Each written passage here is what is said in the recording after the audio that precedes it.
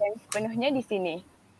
Diingatkan kepada para peserta untuk menjaga akhlak dan berbudi bahasa sepanjang ceramah kita berlangsung pada slot yang akan dijalankan sebentar lagi.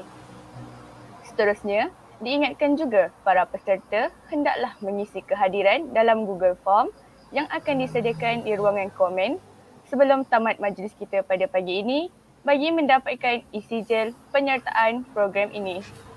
Peserta juga boleh bertanya soalan di chat box yang di, yang akan dijawab oleh penceramah kita pada akhir majlis ini.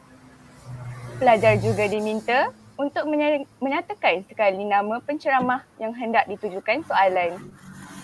Pelajar digalakkan untuk menggunakan komputer atau laptop anda kerana sebentar lagi akan ada aktiviti yang menarik. Bismillahirrahmanirrahim. Alhamdulillahirabbil alamin. Wassalatu wassalamu ala asyrafil anbiya'i wal mursalin wa ala alihi wa sahbihi ajma'in. Assalamualaikum warahmatullahi wabarakatuh. Salam sejahtera, salam Kelantan, bumi tercinta. Indah berbalam si awan petang, berarak di celah pepohon ara. Pemanis kalam, selamat datang. Awal bismillah, pembuka bicara. Yang berusaha Dr. Azizi bin Jaafar, Timbalan Ketua Jabatan, Jabatan Hal Ehwal Pelajar, IPG Kampus Kota Baru, merangkap pensyarah penasihat JPP sesi 2021-2022. Yang berusaha Dr. Rizwan bin Idris, pensyarah cemerlang Timbalan Ketua Jabatan, Jabatan Perancangan dan Penyelidikan Inovasi, IPG Kampus Kota Baru. Yang berusaha, Dr. Nazri Abdul Rahman, Ketua Jabatan Psikologi Pendidikan dan Kaunseling, Fakulti Pendidikan Universiti Malaya. Ketua-ketua jabatan, ketua-ketua unit, pensyarah-pensyarah cemerlang yang dihormati para pensyarah serta siswa guru IPG Kampus Kota Baru sekalian. Selamat datang ke ceramah inovasi peringkat IPG Kampus Kota Baru sesi 2021. Bagi memberkati perjalanan majlis kita pada pagi ini, majlis dengan segala hormatnya menjemput siswa guru PISMP Pendidikan Islam 4 semester 1, Saudara Muhammad Falik bin Mukhtar bagi mengetuai bacaan doa majlis mempersilakan. Auzubillahi minasyaitonir rajim. Bismillahirrahmanirrahim. Assalamualaikum warahmatullahi wabarakatuh. Nabi wa ala alihi wa ashabi kiramil Fatihah. Auzubillahi minasyaitonir rajim. Bismillahirrahmanirrahim. Alhamdulillahi rabbil alamin. Arrahmanirrahim. مالك يوم الدين إياك نعبد وإياك نستعين اهدنا الصراط المستقيم صراط الذين أنعمت عليهم غير المغضوب عليهم ولا الضالين. أعوذ بالله من الشيطان الرجيم بسم الله الرحمن الرحيم. الحمد لله رب العالمين والصلاة والسلام على أشرف الأنبياء والمرسلين وعلى آله وأصحابه أجمعين. اللهم اغفر لنا ذنوبنا ولإخواننا الذين سبقونا بالإيمان ولا تجعل في قلوبنا غلا للذين آمنوا ربنا إنك رؤوف رحيم Ya Allah, Ya Rahman, Ya Rahim Sesungguhnya kami berhimpun pada hari ini bagi melahirkan rasa kesyukuran di atas kurniaanmu yang tidak ternilai. Jadikanlah kami hamba-hambamu yang sentiasa bersyukur di atas nikmat yang melimpah ruah kepada kami. Ya Allah ya Alim, sesungguhnya Engkau Maha mengetahui bahawa kami di sini ingin menimba ilmu yang sangat luas bagi mengembangkan potensi kami sebagai hamba-Mu yang Engkau redai. Justeru, jadikanlah ceramah inovasi pada hari ini ceramah yang dirahmati. Pertemuan kami ini pertemuan yang dipuji. Harapan kami ini harapan yang direstui. Kurniakanlah kepada kami apa kiranya ilmu-Mu Sinarilah hati-hati kami dengan cahaya dan hidayahmu. Semoga dengannya kami mudah menerima dan menghayati serta mengamalkannya. Ya Zal Jalali wal Ikram. Kurniakanlah apa kiranya kepada kami kesihatan anggota, kecergasan minda, ketenangan jiwa, kekuatan semangat. Semoga dengannya kami mampu mendepani cabaran, berdaya saing dan mampu mengangkat martabat diri, keluarga, masyarakat dan negara. Ya Wali Al Muhaimin, Engkau lindungi dan peliharalah kami hamba-hambamu daripada balak bencana, wabak penyakit COVID-19 dan segala keburukan yang boleh mendatangkan kemudaratan kepada kami. Moga dengan nikmat kesihatan kurniaanmu ini, dapat kami manfaatkan untuk beribadah kepadamu ya Allah. Allahumma ja'al jam'ana hadha jam'an marhuma wa tafarraqana min ba'dihi tafarraqan ma'suma ولا تجعل اللهم فينا ولا معنا ولا من يتبعنا شقيا ولا مطرودا ولا محروما. ربنا آتنا في الدنيا حسنة وفي الآخرة حسنة وقنا عذاب النار. وصلى الله على سيدنا محمد وعلى آله وصحبه وسلم. والحمد لله رب العالمين. Amin amin ya rabbal alamin. Majlis merakamkan ucapan terima kasih di atas bacaan doa sebentar tadi. Semoga majlis kita pada hari ini dirahmati oleh Yang Maha Esa. Bagi melancarkan perjalanan majlis kita pada hari ini, majlis dimulakan dengan sesi perbincangan slot pertama iaitu penyelidikan dan inovasi mengilham penyelidikan masa depan. Sebelum itu, saya ingin menceritakan serba sedikit biodata ringkas mengenai panel pertama kita iaitu Dr. Nazri Abdul Rahman. Beliau memperoleh PhD dari Universiti Malaya dalam bidang reka bentuk kurikulum dan menjawat jawatan Ketua Jabatan di Jabatan Psikologi Pendidikan dan Kaunseling Fakulti Pendidikan di Universiti Malaya. Baru-baru ini juga, beliau telah menerima geran penyelidikan NUTP Persekolahan Penjarakan Fizikal Pandemik COVID-19 dan telah memenangi kertas kerja terbaik kluster pendidikan norma baharu dan kertas kerja terbaik keseluruhan seminar Majlis Dekan Pendidikan Universiti Awam serta Team Edify Education and Digital Pedagogy Community Glasgow, Glasgow University UK 2020-2021 Virtual Lab for Early Childhood Education Project. Oleh itu, majlis menjemput yang berusaha Dr. Nazri Abdul Rahman untuk menyampaikan perbincangannya. Majlis dengan penuh hormatnya mempersilakan. Bismillahirrahmanirrahim. Assalamualaikum warahmatullahi wabarakatuh. Terima kasih moderator yang saya hormati Dr. Azizi, penasihat JPP IPG Kampus Kota Baru, Dr. Muhammad Ridwan, uh, pensyarah cemerlang IPG Kampus Kota Baru. Uh, terima kasih atas jemputan dan di pagi ini kita akan membincangkan sedikit berkaitan dengan penyelidikan dan inovasi mengilham pendidik masa depan. Okey, uh, saya akan share slide. Eh.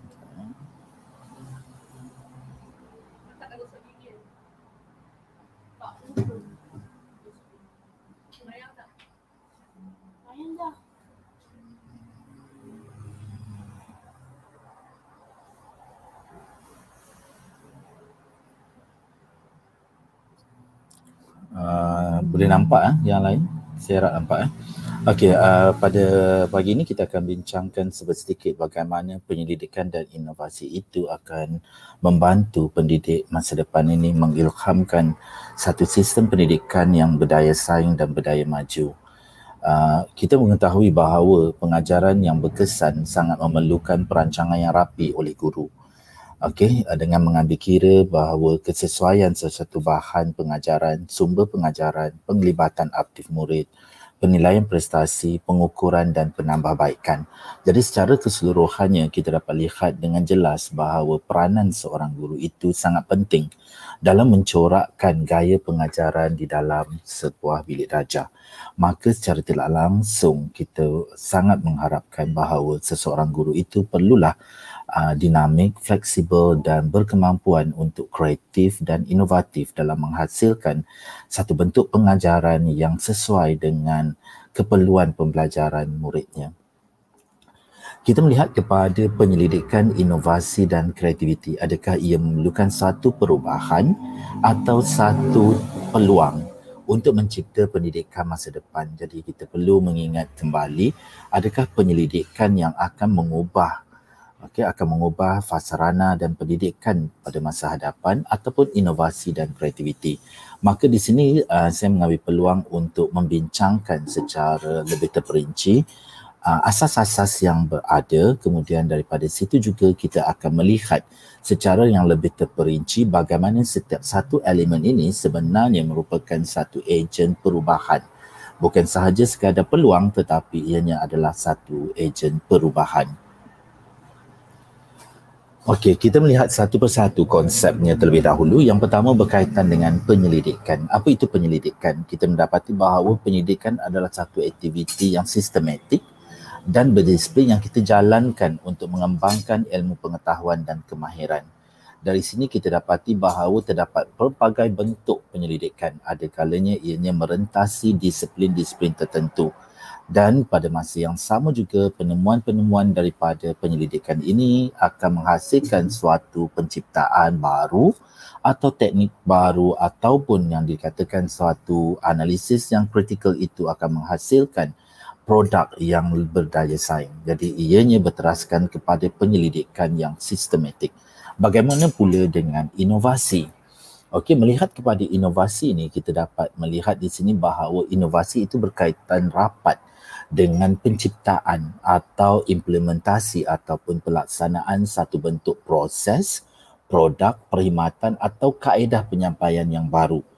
Dan di sini kita melihat bahawa sesuatu inovasi atau pembaharuan yang dilakukan itu seharusnya berupaya memberi peningkatan sama ada dalam bentuk proses, dalam bentuk produk atau perkhidmatan tadi okey yang memberi peningkatan yang signifikan atau memberi peningkatan yang uh, impak besar terhadap hasil kecekapan dan keberkesanan sesuatu kualiti.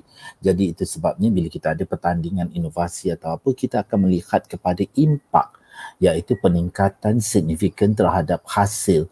Jadi sebelum adanya proses tersebut bagaimana selepas adanya inovasi tersebut adakah proses tersebut meningkatkan kecekapan sesuatu kaedah penyampaian perkhidmatan atau kaedah penyampaian peng, uh, penyampaian pengajaran. Berbalik kepada kreativiti, bila kita melihat kepada kreativiti ini adalah keupayaan seseorang itu untuk melakukan sesuatu atau mencipta sesuatu. Di sini hebatnya dari segi kreativiti di mana kita boleh mencipta sesuatu yang baru ianya tidak semestinya kreatif itu tidak semestinya memberi impak yang besar kepada sesuatu proses keseluruhan. Tapi kreativiti itu adalah mencipta sesuatu yang baru atau kelainan. Ha, dan itu sebabnya bila kita melihat dalam pertandingan-pertandingan inovasi atau kreativiti kita akan lihat adakah ianya sekadar kreatif ataupun sebenarnya ianya inovasi. Inovasi adalah pembaharuan Okey, bila kita pergi pada kreatif, benda yang sama, BBM yang sama cuma dipersembahkan dalam bentuk yang lebih kreatif atau disampaikan dalam bentuk yang lebih kreatif. Jadi di sini kita perlu dapat membezakan, kita seharusnya dapat membezakan tiga persoalan utama. Okey, tiga persoalan utama itu iaitu antara penyelidikan, inovasi dan kreativiti. Bagaimana ketiga-tiga ini sebenarnya okey memacu, memacu atau mengilham okey memacu atau mengilham ke, uh, kepada pendidik. Mengilhamkan pendidikan atau mengilhamkan pendidik masa depan. Okay, saya rasa bersama saya pada pagi ini sebahagian besar adalah mereka yang bakal pendidik pada masa depan. Bukan pada zaman saya tapi pada zaman anak-anak saya dan cucu-cucu saya. Jadi di sini kita lakukan sedikit aktiviti, okay, sedikit aktiviti di mana uh, bagi penonton yang berada bersama-sama saya, kita cuba lihat atau kita cuba masuk ke uh, scan ko, uh, QR code yang disediakan di sini. Okey, QR code atau terus saja uh, uh, klik link, okey, klik link Padlet yang diberikan itu dan kita akan berjumpa di uh, platform Padlet. Jadi boleh untuk masing-masing dan mungkin uh, uh, moderator atau uh, technical boleh untuk masukkan link uh, Platlet ini ke dalam uh, komen di YouTube channel yang menjadi tontonan sebahagian besar siswa pendidik pada pagi ini. Sila, uh, harap dapat itu kita jumpa di sana ya. kita jumpa untuk di ruangan platelet untuk membicarakan tiga bentuk yang akan kita bicarakan iaitu bayangkan kalau sistem pendidikan kita ini selama ini daripada zaman saya zaman atuk nenek saya tidak berubah kekal sama. Maksudnya daripada zaman saya eh, zaman atuk saya belajar cara mengajarnya begitu tak berubah sehingga ke hari ini apa akan jadi? Dan jika guru yang mengajar di hadapan kelas itu dia hanya mengajar misalnya guru yang mengajar dalam PDPR itu hanya mengajar seperti begini tanpa sebarang aktiviti atau membaca buku teks di hadapan kelas dan uh, di dalam talian kemudian murid hanya mendengar apa akan jadi dan jika murid hanya diberi buku daripada muka surat berapa hingga surat berapa menyalin atau dipaparkan okey dipaparkan uh, slide PowerPoint dan diminta setiap pelajar menyalinnya. Setiap pelajar menyalinnya. Apa akan terjadi? Okey ataupun dia hanyalah menghafal bila dekat peperiksaan dua minggu lagi untuk peperiksaan study week guru akan uh, guru atau pensyarah akan menyatakan okey beras hafal topik-topik ini dan kita akan masuk peperiksaan apa akan jadi kepada sistem pendidikan kita, pendidikan kita pada masa hadapan ataupun apa akan jadi kepada bakal guru kita jika cara ini tidak berubah. Okey, bagaimana kita? Bagaimana kita nak mengubahnya dan apakah bentuk itu sesuai untuk kita berubah.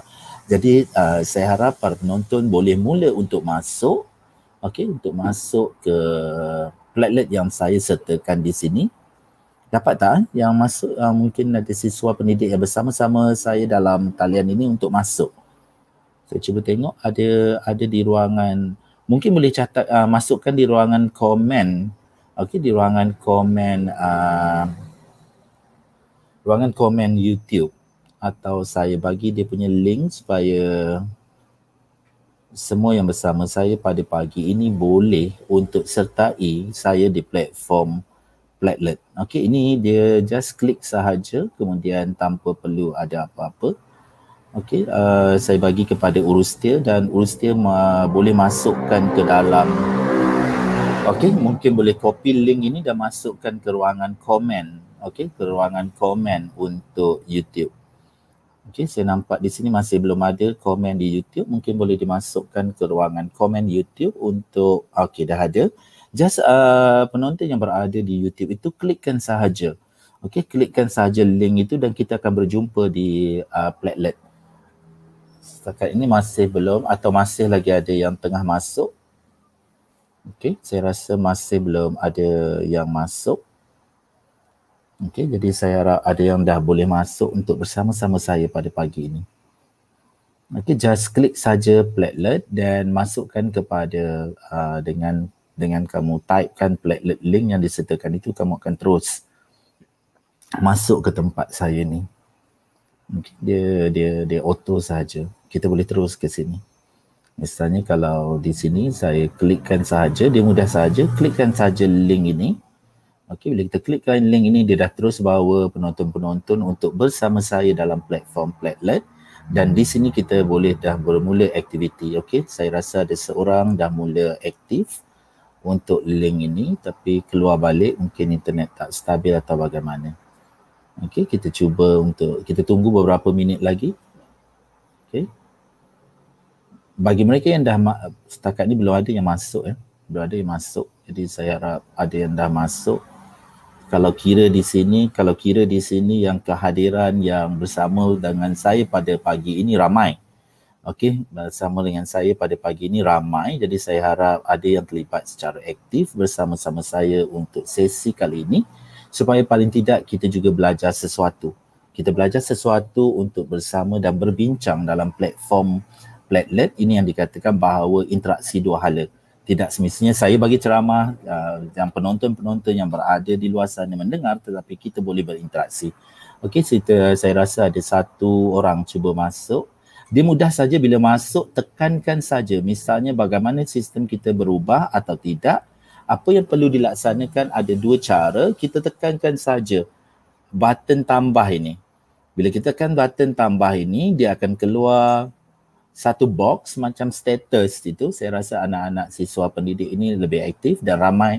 Ada beberapa orang tengah aktif untuk masuk okey untuk bersama kita. Tekan yang ini dan di sini ada jika kita nak upload note. Okey, dia ada di sini, kita boleh tengok, boleh upload, boleh gunakan kamera di desktop masing-masing, boleh gunakan video recorder, boleh gunakan location, screen recorder, audio, draw, platelet atau boleh search di YouTube, link, image, GIF, Spotify atau search di web. Okey, jika kita nak type, misalnya saya di sini, katalah saya nak masukkan gambar. Ini contoh saya dah masukkan saya masukkan gambar subjek di atas ni kalau boleh tulis nama siswa pendidik yang terlibat. Okey, subjek di atas ini adalah tulis nama siswa pendidik yang terlibat. Jadi kita boleh lihat, misalnya saya sebagai seorang pensyarah nak lihat kehadiran pada pagi ini jadi automatik saya boleh detect berapa orang yang hadir atau hanya hadir secara maya diklik saja tetapi tidak aktif dalam pembelajaran saya. Ha, jadi di sini juga adalah satu satu elemen jadi seorang guru. Dia kena kreatif bagaimana untuk memastikan pelibatan aktif muridnya supaya kita pastikan bahawa murid itu bersama kita dalam talian. Jadi bagaimana kita nak buat? Ini caranya bermaksud apa yang cara kita lakukan adalah kita juga boleh detect adakah kehadiran yang sebegitu ramai yang kata Ariel hadir, Aisyah hadir, adakah dalam platelet yang pada pagi ini Aisyah ada, Ariel ada. Jadi masukkan nama misalnya Ariel, masukkan nama Iril apa kemudian dapatkan gambar apa-apa bagaimana jika kita bayangkan sistem pendidikan kita tak berubah bagaimana cara mak bapak kita atuk kita belajar dahulu masih digunakan sehingga sekarang apa akan jadi pada kita kemudian tulislah sesuatu keadaan tersebut mungkin boleh search di sini untuk dapatkan gambar daripada internet Okay, dapatkan search gambar-gambar internet yang boleh kita kongsikan dan kita bincangkan. Okay, kita ada dalam talian ada hmm, tujuh orang, lapan orang. Sekarang dah berkurang kepada lima. Okay, tiga, sembilan orang. Okay, dalam platelet saya ini yang bersama-sama saya ini ada sembilan orang. Okay, kita tunggu. Kita tunggu untuk beberapa minit sebab saya paling tidak saya dapat satu atau dua feedback. Okey. Jadi kita okey dah ada masuk. Okey Aisyah, Aisyah tak tulis apa-apa Aisyah. Okey. Bukan kehadiran eh Aisyah. Bagi feedback tentang jika perubahan itu bayangkan jika kita atau kita belajar sama seperti cara mak bapak kita belajar sama seperti atuk nenek kita belajar di sekolah dulu apa akan jadi sekiranya tidak berubah apa akan jadi kepada kita Adakah kita gembira dengan apa yang ada itu sedangkan orang dah maju ke hadapan? Okey, Aisyah, Siti Aisyah. Saya harap boleh edit. Okey, bagi mereka yang dah masuk dan tulis seperti Aisyah, tekan tiga button. Tekan tiga button ini kemudian boleh edit semula post tersebut. Misalnya saya boleh edit semula apa yang Aisyah dah tulis. Jadi Aisyah tolong edit semula dan masukkan maklumat-maklumat tersebut. Okey, uh, ini bukan platform untuk tunjuk kehadiran ya. Okey, Aisyah. Siti Aisyah Salim. Okey, dia dah hadir kat sini. Okey, hadir tetapi aktif bersama-sama. Jadi klik saja di sini. Okey, klik saja di sini dan edit post. Maksudnya edit dan post semula dengan memberi jawapan tersebut.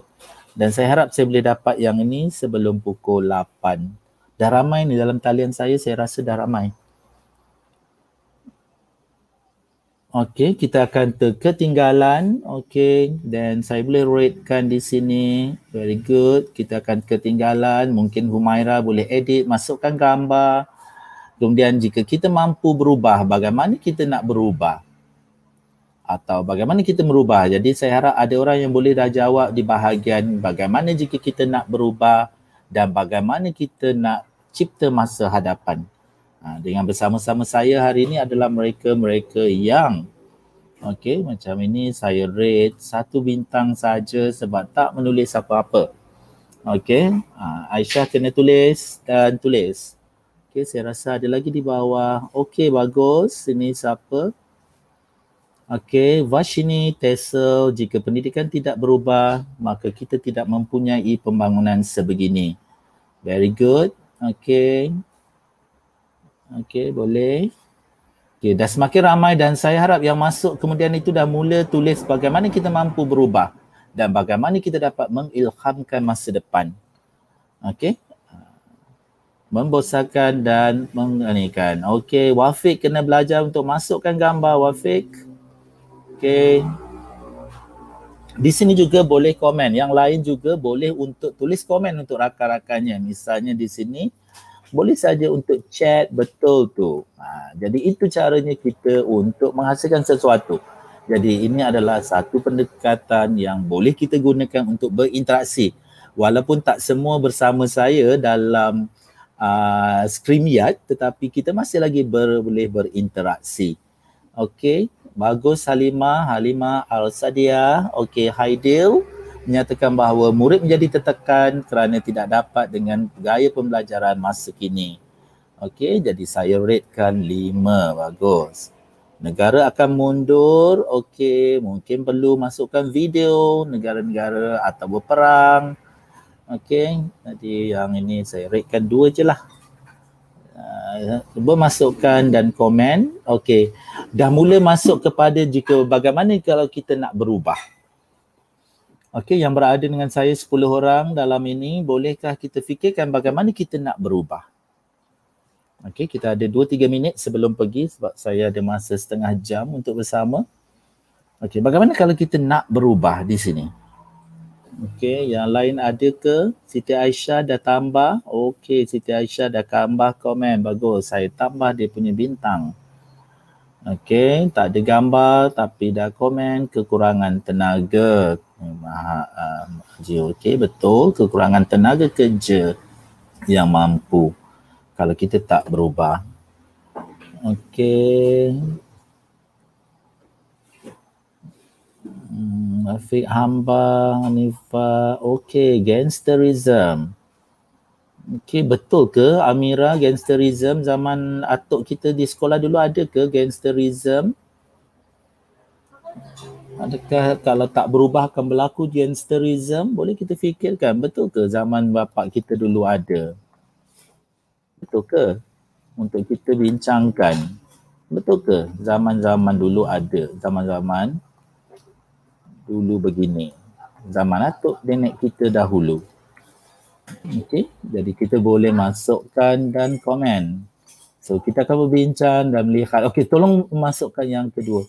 Okey, perubahan perlu dari diri dan keluarga, betul. Kita mampu berubah, bagaimana kita nak buat, kita akan berubah dari diri dahulu. Okey bermula daripada diri dan keluarga.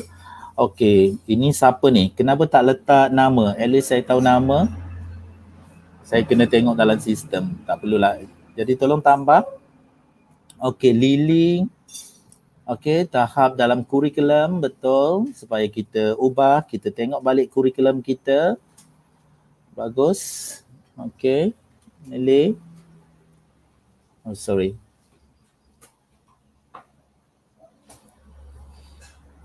Okey, apa lagi? Ada lagi belum? Baru dua orang. Lily dan saya harap yang yang perubahan diri dan keluarga ni boleh tambah uh, edit, tambah nama. Nanti senang Dr. Ridwan untuk mencari siapa yang terlibat secara aktif. Apa, ada tujuh orang, lapan orang boleh, tak ada masalah. Okey, bagi mereka yang masih yang bersama kita, yang baru bersama kita, okey, yang baru bersama kita, nak terlibat ini dapatkan ruangan link yang disediakan di YouTube. Okey, link di ruangan komen YouTube. Okey, anda akan terus dibawa ke platform Platlet untuk bersama-sama kita membincangkan apa akan jadi bayangkan kalau sistem pendidikan kita tidak berubah. Okey, pemikiran, okey, berpemikiran terbuka, Nisha, very good. Okey, kita perlu bersedia untuk berubah dan ber, uh, dan terbuka. Okay, kejap eh. Dia dah, dia dah hang sekejap. Okay. Okay Nisha. Okay, cuba tengok. Saya nak tengok bagaimana kita nak mengilhamkan masa depan. Ada tiga minit lagi sebelum saya stop untuk kita pergi ke next step. Okay, bagaimana kita nak mengilhamkan masa depan? Boleh tak kita fikirkan bagaimana kita nak berfikir kepada masa depan? Maksudnya bagaimana kalau kita nak berubah sistem pendidikan kita, kita nak mencipta masa depan. Apa yang patut kita laksanakan? Di sini yang kedua, kita mampu berubah macam mana kita nak berubah. Yang sekarang nak ilham masa depan, apakah tools yang kita perlu gunakan? Apakah alat-alat, apakah perubahan-perubahan yang tadi berubah sekarang kita nak cipta masa depan. Jadi apakah sumber yang boleh kita gunakan, resource yang boleh kita gunakan untuk mengubah masa depan tersebut atau mengilhamkan masa depan tersebut. Okey, boleh untuk tambah bagi mereka yang baru berjinak-jinak dengan platelet, dia mudah saja. Kita tekan saja button tambah. Nampak button tambah? Okey, tekankan saja button tambah di sini. Okey, maksudnya kita tekan button tambah. Okey, yang ni dia dah kejap eh. Okey, saya masuk balik. Ramai atau dia dah perlahan internet saya dah perlahan dia dah lahan sikit internet saya pagi ni. Okey, tekan saja button tambah dia akan keluar ruangan teks untuk kita menaip. Dengan ruangan menaip itu kita gunakan ruangan tersebut dan kita boleh untuk type dan dapatkan maklumat-maklumatnya.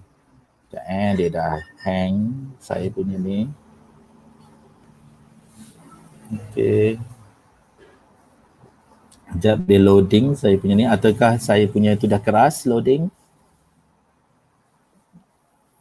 Adakah saya masih bersama penonton atau bagaimana?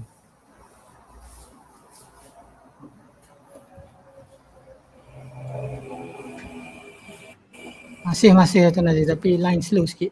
Masih lagi. Line slow sikit ya sebab Nazir nampak hmm. dia macam slow sikit Nazir punya internet bila ramai dah masuk. Okay, sekarang ni dah ramai yang mula masuk ke platform ni dan rasanya Nazir punya internet pun ada connection dia perlahan sedikit tapi tak apa. Dah mula aktif. Okey, dah Okey, jadi di sini dah okey balik dan masih ada eh uh, Ridwan ke saya dah keras. Saya takut saya dah keras. Okey. Masih masih. Uh, okey okey. Masih eh. Okey eh. Okey. Okey boleh dalam satu minit lagi saya menunggu untuk satu jawapan bagi mengilham masa depan dan bagi penonton yang terus bersama saya boleh terus saja kerana saya akan buka saja platelet ini sehingga sesi uh, ini tamat okey saya akan buka saja sesi ini sehingga sesi ini tamat okey uh, maksudnya sehingga pukul 9 9.30 begitu okey merangka plan masa hadapan Bagus Nurin, okey Nurin Damia dah lakukan maksudnya kita perlu merangka merancang bagaimana kita nak uh, mencapai masa depan. Okey, jadi uh, terima kasih Nurin Nurin Damia. Eh. Okey, kita uh, ruangan playlist ini akan terus saya buka dan saya akan terus kepada yang berikutnya. Okey, uh, saya pergi kepada yang berikutnya iaitu kita sambung kepada slide kita yang platelet ini terus sahaja akan uh, berada. Okey uh, yang bagi yang tengah menaip apa semua itu boleh teruskan saja kerana saya tidak menutupnya. Sekejap eh slow internet. Okey Okey, uh, itu tadi kita bincangkan antara beberapa perkara jika kita kekal berubah. Jadi bagaimana? Adakah kita memilih untuk berada pada sistem pendidikan yang sama atau kita perlu berubah? atau kita perlu berubah dan mencipta masa depan. Jadi di sini kita akan bincangkan bila kita sebagai guru ataupun siswa pendidik ataupun bakal-bakal guru ataupun pensyarah-pensyarah yang berada, kita perlu untuk berani, kita perlu untuk berani meneroka kepelbagaian kaedah pengajaran yang ada. Kalau kita lihat sekarang ini, okey kita ada uh, paragogi atau pedagogi, kita ada heutagogi, kita ada cybergogi dan kita ada kalau kita lihat the way uh, the pedagogy wheels kalau kita lihat dalam uh, okey dalam kajian yang dijalankan dia ada pedagogy wheels itu dan kita akan lihat di situ ada pelbagai okey pelbagai bentuk pedagogi yang boleh kita sesuaikan dengan zaman masa kini bagaimana kita nak mencipta masa hadapan kita kena berubah. Jika dahulu kita punya sistem pendidikan ataupun jika kita yang menerima pendidikan pada zaman kita itu, cikgu kita mengajar dengan secara kuliah pada zaman tersebut, ianya perlu berubah kerana apa? Dengan adanya teknologi hari ini, segala-galanya berada di hujung jari. Jadi apa yang kita buat adalah kita kena sentiasa berinteraksi dan mempelbagaikan okey mempelbagaikan kaedah pengajaran. Bagaimana kita nak mempelbagaikan kaedah tersebut? Jadi kita perlu menjalankan okey penyelidikan. Daripada penyelidikan kita boleh menghasilkan inovasi dan ada kalanya mungkin tanpa penyelidikan, tanpa inovasi kita seorang yang kreatif. Kita seorang yang kreatif sentiasa memikirkan bagaimana kita dapat membantu anak didik kita membantu murid-murid kita mencapai hasilnya maka kita okey maka kita secara tak langsung akan berusaha untuk memberi yang terbaik. Jadi bagaimana? Kita perlu memahami learning pyramid. Okey daripada dalam learning pyramid ini kita kena faham bahawa hari ini hari ini sistem pendidikan ini perlu berubah. Tadi kita dah berbincangkan bagaimana nak mengilhamkan masa depan kita perlu memberi fokus okey? Kita perlu memberi fokus kepada dua aspek yang paling penting iaitu practice by doing dan teach others. Itu sebabnya tadi bila saya berkomunikasi dalam talian walaupun dalam talian saya bagi supaya kita sama-sama practice by doing, kita buat sama-sama, kita berinteraksi dan mungkin di kalangan penonton-penonton siswa pendidik yang berada bersama-sama pagi ini berada dengan rakannya dan dia akan mengajar rakannya caranya begini, kita tekan yang ini. Okey, kita boleh explore yang ini, ini linknya. Jadi di situ sudah berlaku teach others. Bila berlakunya teach others, penguasaannya melebihi 90% berbanding dengan kaedah saya hanya bercakap dan menerangkan ini pedagogi, ini the will of pedagogi tanpa mempraktikkannya dan tanpa memberi peluang kepada siswa pendidik untuk teach others atau mengajar yang lain, membimbing yang lain. Jadi di situ kita perlu berubah. Dan sampai masanya dalam sistem pendidikan hari ini kita perlu meneroka kepelbagaian pengajaran. Menarik hari ini berbanding dengan zaman saya yang mungkin terhad kepada buku teks okey paling tidak buku teks dan radio atau TV pendidikan tetapi hari ini kepelbagaian konsep pengajaran itu boleh diterokai misalnya tadi dalam nota-nota Padlet automatik gambar boleh dipamerkan dan discussion boleh dilaksanakan di situ. Jika kita meneroka lagi di uh, Padlet itu kita boleh buat dalam mind mapping picture. Kita boleh mind map dan kita juga boleh untuk melihat. Kalau belajar untuk geografi misalnya kita tidak langsung kita boleh melihat di mana kawasan-kawasan yang telah diteroka dan kita akan gunakan Google Earth dan pada masa tersebut juga kita boleh melakukan yang lain. Jadi di situ adalah penting untuk kita meneroka. Meneroka kepelbagaian kaedah. Generasi eh, siswa pendidik yang berada dalam talian bersama saya hari ini, kamu adalah pewaris generasi saya tetapi tidak boleh mengikut bagaimana saya mengajar pada zaman saya iaitu zaman kini sebaliknya kita perlu meneroka kepelbagaian tersebut kerana sebagai guru pada masa hadapan kamu tidak boleh kamu hanya boleh menyingkap apa yang cikgu kamu ajar saya boleh menyingkap bagaimana zaman saya belajar dan saya boleh mengungkap apa yang saya boleh lakukan hari ini tetapi dalam pada masa yang sama dan paling penting sekali guru masa hadapan adalah dia cuba create pada masa hadapan apa yang akan berlaku. Jadi dia perlu menyediakan muridnya apa yang akan berlaku di masa hadapan. Jadi itulah pentingnya inovasi. Itulah pentingnya inovasi, itulah pentingnya penyelidikan. Teroka dan terus kerana dengan penerokaan, dengan penerokaan dan inovasi itu kamu boleh mencipta mengilham masa depan. Jadi yang ini yang paling penting yang kita rasakan bahawa saya perlu berubah.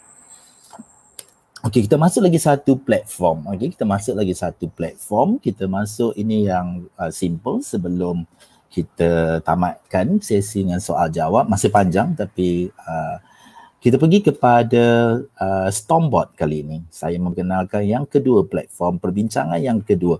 Walaupun mungkin sebahagian daripada penonton ini dah biasa tetapi yang nak saya sampaikan di sini adalah bagaimana kita mengajar, berceramah dalam talian atau berinteraksi dalam talian tetapi kita boleh berinteraksi, merentasi masa dan pada masa yang sama kita berada bersama. Itu yang dinamakan hybrid learning.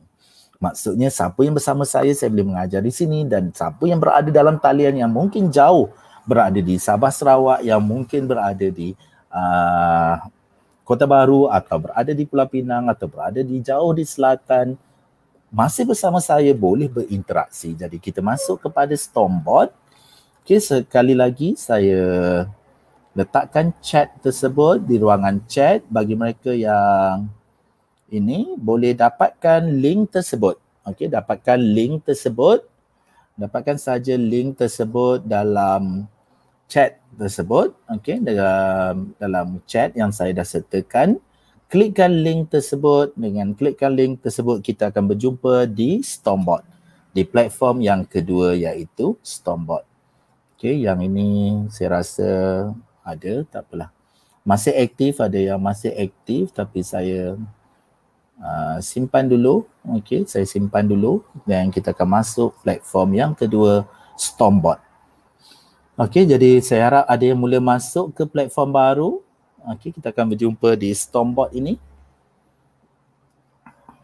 Ada yang dapat ke? Atau masih uh, nak tukar platform agak susah Okey, tak apa. Yang ni saya memperkenalkan saja, nak memperkenalkan saja bagaimana kita boleh berinteraksi dalam pelbagai platform. Dan inilah yang dikatakan bahawa bagaimana kita perlu memikirkan masa depan dan gaya pengajaran ini mungkin akan kekal, mungkin akan kekal dalam suasana pandemik hari ini atau paling tidak jika kita merujuk kepada uh, plan pembangunan uh, pendidikan yang baru 2015-2025 Okey, di situ telah ditekankan bahawa mungkin akan berlakunya hybrid learning dan sebahagian besar universiti-universiti terkemuka di dunia termasuk Universiti Melaya kita dah mula kepada hybrid learning. Okey, kita dah ada tiga orang pelajar. Okey, tak apa. Uh, bagi mereka yang dah menyiasat dalam ruangan ini, tekan add. Dia sama je. Tekan add akan keluar sticky note. Okey, kalau kita tekan add di sini, dia keluar sticky note. Okay, dia keluar sticky note bila kita tekan add. Jadi, untuk menjawab soalan, okay, untuk menjawab soalan, yang pertama, guru masa depan, apakah personal quality? Apakah kualiti guru masa depan yang perlu ada? Jadi, klik text akan tulis di text. Boleh type saja kualiti guru masa depan adalah apa? Flexible. Seorang yang fleksibel dan kalau nak masukkan image, boleh saja di sini typekan saja dalam search itu future teachers flexible.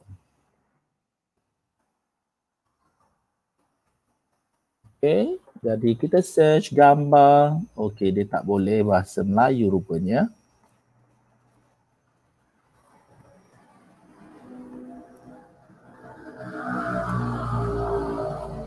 Okay, flexible dan dikeluar yang lain-lain pula lah yoga. Okey okey bolehlah saya letak jelas satu. Dan kita masukkan saving image dan kita klikkan right bermaksud kita punya. Okey dah ada satu. Okey itu dia masukkan di mana? Yang ini pun kalau boleh letaklah nama di bawah tu. Sebelum post letak nama di bawah tu. Nama ringkas supaya saya boleh panggil siapa punya ideas Okay, saya boleh panggil siapa yang bagi ideas tersebut. Okay, kualiti yang pertama adalah future teachers. Okay, NM yang tengah buat future teachers tu boleh tak edit letak nama kat bawah tu kecil sikit? Future teachers buat dash di situ tulis uh, siapa? Nemilia Najwa. Okay, future teachers with IoT. Okay, very good. Yang ini mungkin boleh edit semula. Saya punya internet ni perlahan betul. Ini cabaran ya. Ha, ini yang kita perlu akui bahawa walaupun kawasan saya duduk ini saya punya Streamax 5G saya rasa tak sampai. Tak sampai 5G bayar untuk 5G biasalah. Okey 5G tetapi begini dia punya internet dan saya memahami bagi yang berada di luar lebih mencabar. Okey jadi tak apalah close Okey, kita membaca. Yang lain boleh masuk. Okey. Oh, Dr. K. Okey. Terima kasih Dr. K terlibat sama pada pagi ini. Okey. Okey, future teacher with IoT. Oh, saya jangkakan semua apa di kalangan ini adalah siswa pendidik rupanya ada Okey, kalangan pensyarah. Terima kasih bersama kita untuk membincangkan tentang apakah kualiti guru masa depan apakah bentuk pedagogi yang dapat kita laksanakan dan bagaimana dengan school ethos atau budaya Okay, yang berada di sana. Okay. Dan kita ada future with the dedication. Okay, dedikasi. Dan boleh masuk lagi apa yang ada. Kita cuba tengok. Mungkin sebahagiannya boleh uh, boleh memikirkan tentang pedagogi. Kita ada 20 orang dalam talian bersama saya. Yang ini makin ramai, makin aktif. Okey, ada 20 orang, 21 orang. Okey, Tania dan terima kasih kerana terus bersama saya. Okey, saya saya nak lengkapkan tiga saja. Okey. Visioning menyatakan future with a consistency. Okey, square of self environment. Okey, terima kasih. Hmm, di mana Muhammad Izzat nak letak? pedagogi ke apa, guru masa depan yang kreatif dalam pengajaran. Okey, pengajaran maksudnya creative teaching. Okey, untuk Izzat yang nyatakan tadi itu adalah creative teaching. Okey, Izzat letak situ. Mungkin Izzat boleh call, uh, call uh, pedagoginya Izzat, Izzat buat kurungan dalam tu edit, masukkan di sana creative teaching atau pengajaran kreatif. Okey, itu bentuk pedagoginya. Okay, Izzat just edit saja. Boleh edit di situ. Izzat pergi, edit balik dan type di sana creative teaching atau pengajaran kreatif. Itu salah satu bentuk pedagogi. Okay, lifelong learning education. Okay, lifelong education. Terima kasih. Okay, kita ada 25 orang. Semua dah bangun pagi. Terima kasih. Semua dah aktif dan mula. Okay, tadi platelet masih apa berjinak-jinak. So yang ni semua dah bangun. Dah ramai dalam saya punya talian. Okay. Ramai dalam talian. Mungkin kita boleh buka untuk saya buka lagi dua minit. Eh. Saya buka lagi dua minit untuk kita bincangkan. Okay. Sekejap besar sangatlah pula. Okay. Supaya semua nampak. Okay, creative teaching. Okay, terima kasih Izzat. Okay, future skill, good organizational skill. Okay. Okay, computer, uh, computational learning. Okay. Itu siapa letak. Dan lifelong learning. Okay, school actors. Tadi saya rasa macam ada satu yang tulis tentang ni kan uh, school environment. Oh, dia terlepas ke atas ni. Okey, bawa turun dah. Okey, terima kasih. Dah bawa turun. Okey, dah bawa turun. Okey, kita tunggu lagi dua. Uh, sedepan. Jadi ini adalah salah satu juga platform yang boleh kita gunakan dan berbincang dan pada masa yang sama ia merupakan blended learning yang mana kita gabung jalinkan antara physical, antara teknologi dan segalanya. Okey, dalam sini. Okey, ada yang berlari-larian. Okey. Konsistensi. Okey. Mungkin yang kecil sikit eh. Ada yang guna tablet ke?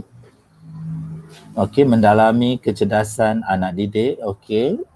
personal quality. Okay, saya tengok masa lagi satu minit. Saya uh, tinggalkan saja platform ini dan ya bagi mereka yang masih dalam ini boleh terus untuk berbincang selepas itu dan kita akan masuk kepada yang berikutnya. Okay, ini adalah salah satu cara yang saya ingin tunjukkan bahawa kita boleh berkomunikasi kita boleh berkomunikasi di mana saja kita berada menggunakan pelbagai platform yang sedia ada dalam talian uh, dan semuanya adalah secara percuma okey yang hanya memerlukan internet. Okey kosnya di situ tapi kita tidak perlu bayar untuk aplikasi tersebut kecuali kita nak ianya lebih uh, aktif lah. Dan minta maaf ya. Uh, kita teruskan dulu. Saya minum kejap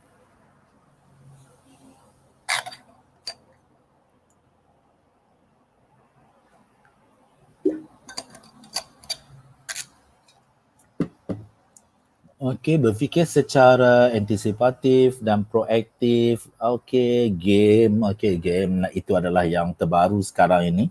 Kita ada gaming, kita ada uh, e-sport yang mana telah mula dijadikan salah satu bentuk pedagogi terkini hari ini dan ianya wajar diterokai. Okay, terima kasih kepada semua disebabkan kita kesuntukan masa saya teruskan okay, untuk slot yang berikutnya just untuk penerangan dalam masa lebih kurang 5 minit begitu saya ambil untuk membincangkan apa yang telah ditulis oleh uh, semua yang bersama saya pada pagi ini. Okey, kita tadi kita membincangkan tiga elemen yang sangat penting. Okey, kita tadi kita membincangkan tentang personal quality, school ethos dan juga pedagogi dan apa yang ditulis tadi di dalam stormboard yang dibincangkan dari segi personal quality apakah perlunya ada dedikasi perlu adanya komitmen dan bagaimana perlunya pedagogi-pedagogi yang selari dengan zaman. Maksudnya perlu berada dan kita akan lihat satu persatu bagaimana. Yang paling penting sekali adalah berkaitan dengan komitmen.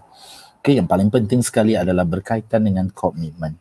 Okey, bagaimana komitednya seorang guru, bagaimana bersemangatnya seorang guru itu amat penting dalam menentukan bahawa sesuatu pengajaran itu kreatif dan juga bukan saja kreatif tetapi ianya juga akan menghasilkan inovasi kerana daripada kreativiti itu guru sentiasa memikirkan cara terbaik yang dapat meningkatkan kualiti pengajarannya.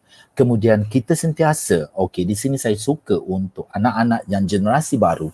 Ini anak-anak yang siswa pendidik dalam generasi baru kita sentiasa kena relate to children. Maksudnya pengajaran kita itu sentiasa berkaitan dengan apa yang ada pada children kita, ada pada kanak-kanak kita, perluan pelajar kita. Jadi di sini saya ingin menarik perhatian. Dia ada dua aplikasi percuma saja sama ada AR dan juga kelas dojo. Di sini boleh menghasilkan banyak lagi. Kita ada charter pics di mana kita boleh tangkap gambar dan gambar itu boleh dikartun, dianimasikan dan dijadikan bahan pengajaran inovasi yang mana ini berkaitan dengan anak didik kita. Saya tunjuk satu, saya suka untuk tunjuk satu kepada semua hari ini berkaitan dengan co-space. Okay? Co-space classroom learning. Ini adalah co-space di mana kita boleh masuk dia daftarkan saja percuma ambil saja sebagai educator kemudian kita create code space kita misalnya di sini kalau kita nak uh, createkan okey kita nak pergi apa? Nak bagi nak mengajar tentang apa? Nak mengajar tentang alam sekitar. Masukkan hutan background. Lepas tu kita nak watak-watak apa? Nak masukkan watak pelajar. Tarik saja masuk. Lepas itu mula bercerita. Dan dia akan jadi 3D yang boleh bergerak. Jika kita nak mengajar tentang transportation, kita masukkan saja di sana dan hasilkan bahannya. Dan di sini kita boleh melihat kita boleh melihat pelbagai galeri yang telah disediakan dan kita gunakan untuk mengajar atau okey untuk mengajar atau menggunakannya. Jadi kita boleh pergi satu persatu untuk explore uh, untuk explore misalnya kita nak pergi explore tentang apa? Kita nak pergi tentang dinosaur dan safari. Yang ini sebahagian besar yang uh, VR-VR yang dimasukkan di sini adalah student yang hasilkan dan mereka masukkan dan kita boleh play, kita boleh dengar muziknya dan kita boleh pusing di mana kita nak tengok. Okey, kemudian kita boleh untuk tengok daripada atas bagaimana situasinya dan sebagainya. Begitu juga dengan kelas dojo. Okey, jadi uh, saya lebih suka untuk melihat benda ini dihasilkan sebagai inovasi masa depan kita hasilkan banyak-banyak, kita masukkan dalam bahasa Melayu sebab kebanyakan bahan-bahan ini dia dihasilkan itu adalah dalam bahasa Inggeris. Kenapa tidak kita menghasilkan bahan pembelajaran e-learning itu dalam bahasa Melayu supaya lebih ramai anak didik kita. Begitu juga saya mungkin sebab ini bukan sesi untuk memperkenalkan platform dan bahan-bahan tersebut. Saya tunjukkan saja sampelnya. Misalnya kelas dojo. Kelas dojo itu boleh menghasilkan pelbagai bentuk uh, penerangan pembentangan dalam bentuk yang lebih menarik dan adanya animasi-animasi yang boleh digunakan dan pelbagai dan guru boleh menggunakan explore-nya dan terus gunakan. Jadi generasi hari ini okey lagi satu kita ada charter pics dia banyaklah banyak aplikasi yang boleh digunakan explore saja hasilkan bahannya dan dah dijadikan digital. Okey, bukan saya nak kata tak bagus yang dihasilkan BBM, bahan bantu, maujud, semua itu bagus. Cuma kita perlu selari balik kepada apa yang dibincangkan di awalnya, kita perlu selari dengan zamannya.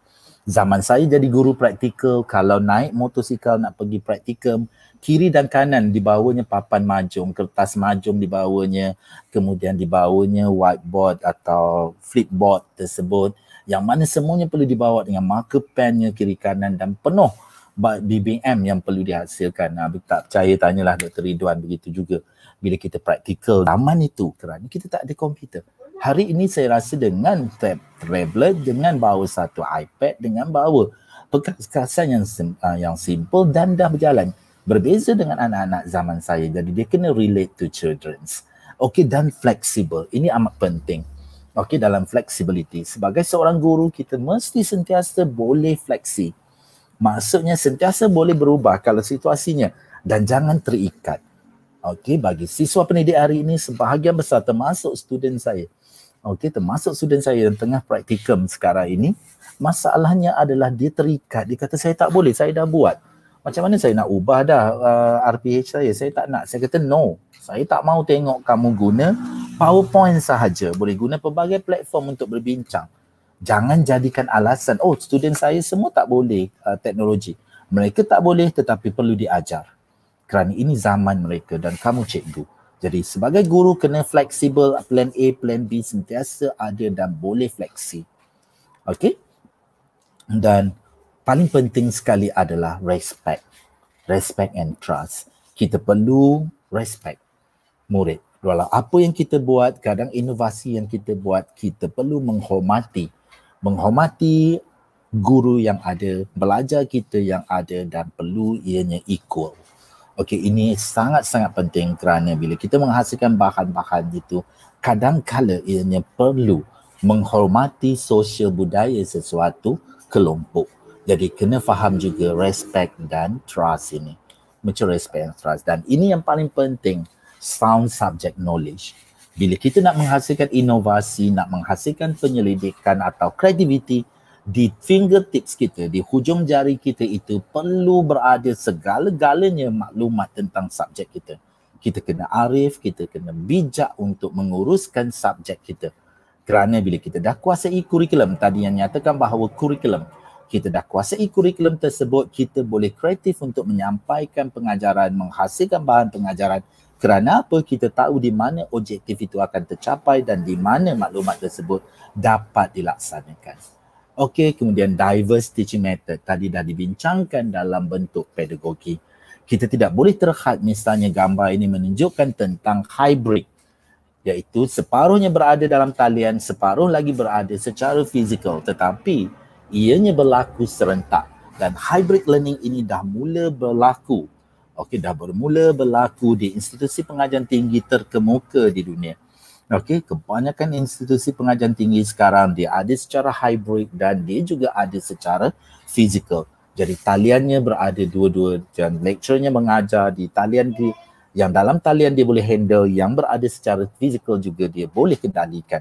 Jadi mungkin ini akan terjadi bukan hari ini atau tidak mungkin esok lusa ianya bakal berlaku.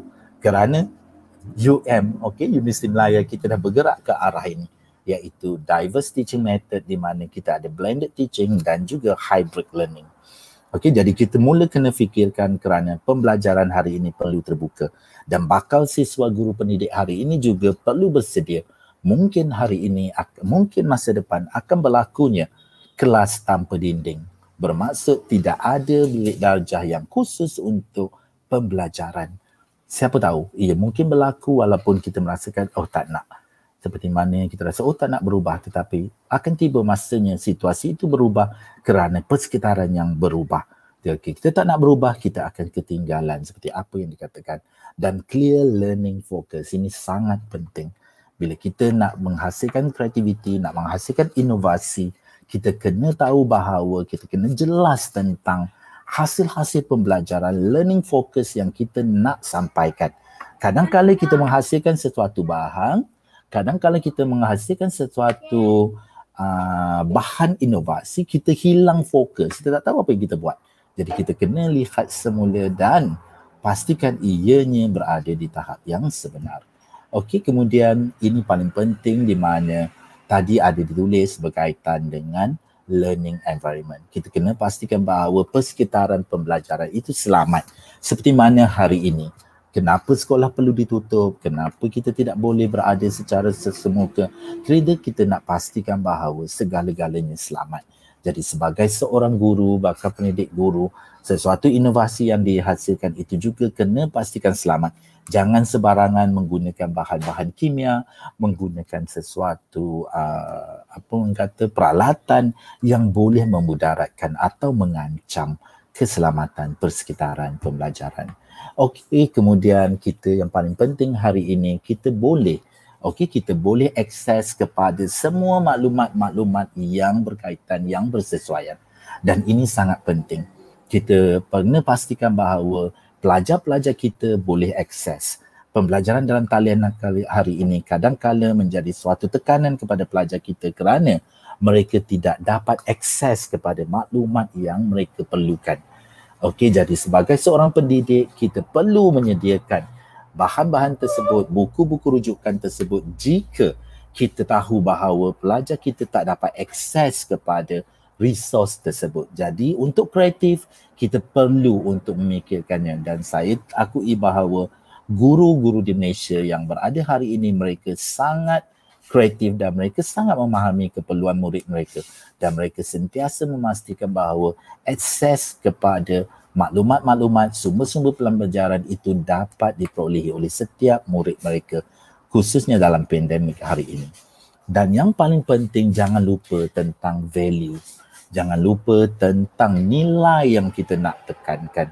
Walau bagaimanapun kita nak mengajar, walau bagaimana hebat pun input yang kita nak beri, kita sentiasa kena berbalik semula kepada value, nilai dan sentiasa menekankan bahawa nilai-nilai yang ada, nilai-nilai sejagat yang perlu dikekalkan, okey, nilai-nilai jati diri dan juga budaya yang kita nak dikekalkan dalam diri setiap anak-anak itu perlu diterapkan.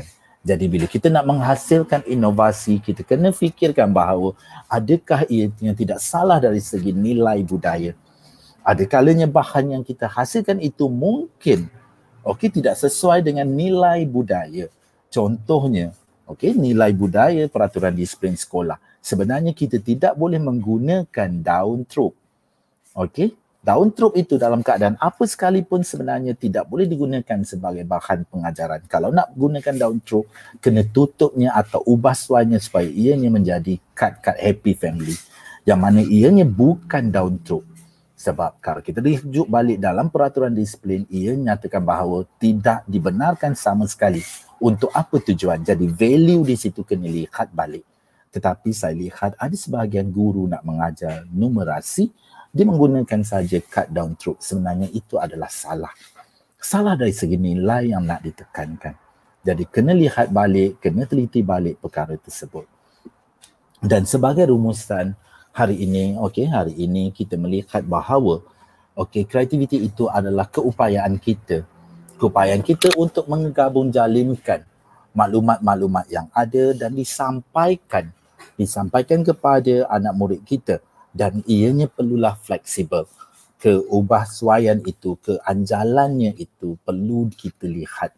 Kerana ada kalanya yang kita rancang itu adalah berbeza dengan apa yang sepatutnya berlaku. Jadi saya rasa untuk sesi ini saya akhiri dengan ucapan terima kasih kepada semua yang terlibat.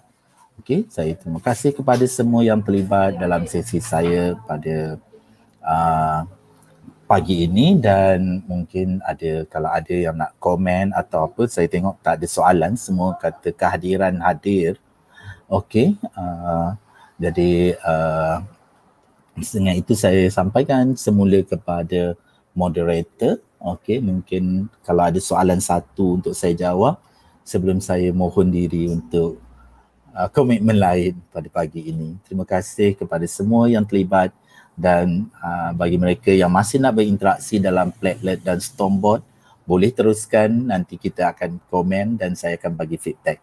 Okey bagi mereka yang nak uh, terus berinteraksi. Okey saya serahkan semula kepada moderator dan terima kasih atas jemputan Dr. Ridwan dan seluruh warga IPG Kota Baru. Terima kasih uh, atas perkongsian ini. Semoga apa yang saya kongsikan ini dapat dimanfaatkan oleh seluruh warga siswa pendidik sebagai pencetus sebagai pencetus ke arah penghasilan inovasi dan seterusnya uh, mengilhamkan pendidik masa depan. Silakan. Terima kasih kepada Dr. Nazri Abdul Rahman atas penyampaian yang begitu jelas dan menarik sekali. Semoga dengan penjelasan itu tadi, kita sama-sama memperoleh manfaat daripadanya. Seterusnya, majlis diteruskan lagi dengan slot kedua. Oleh itu, majlis mempersilakan yang berusaha Dr. Rizwan bin Idris, pensyarah cemerlang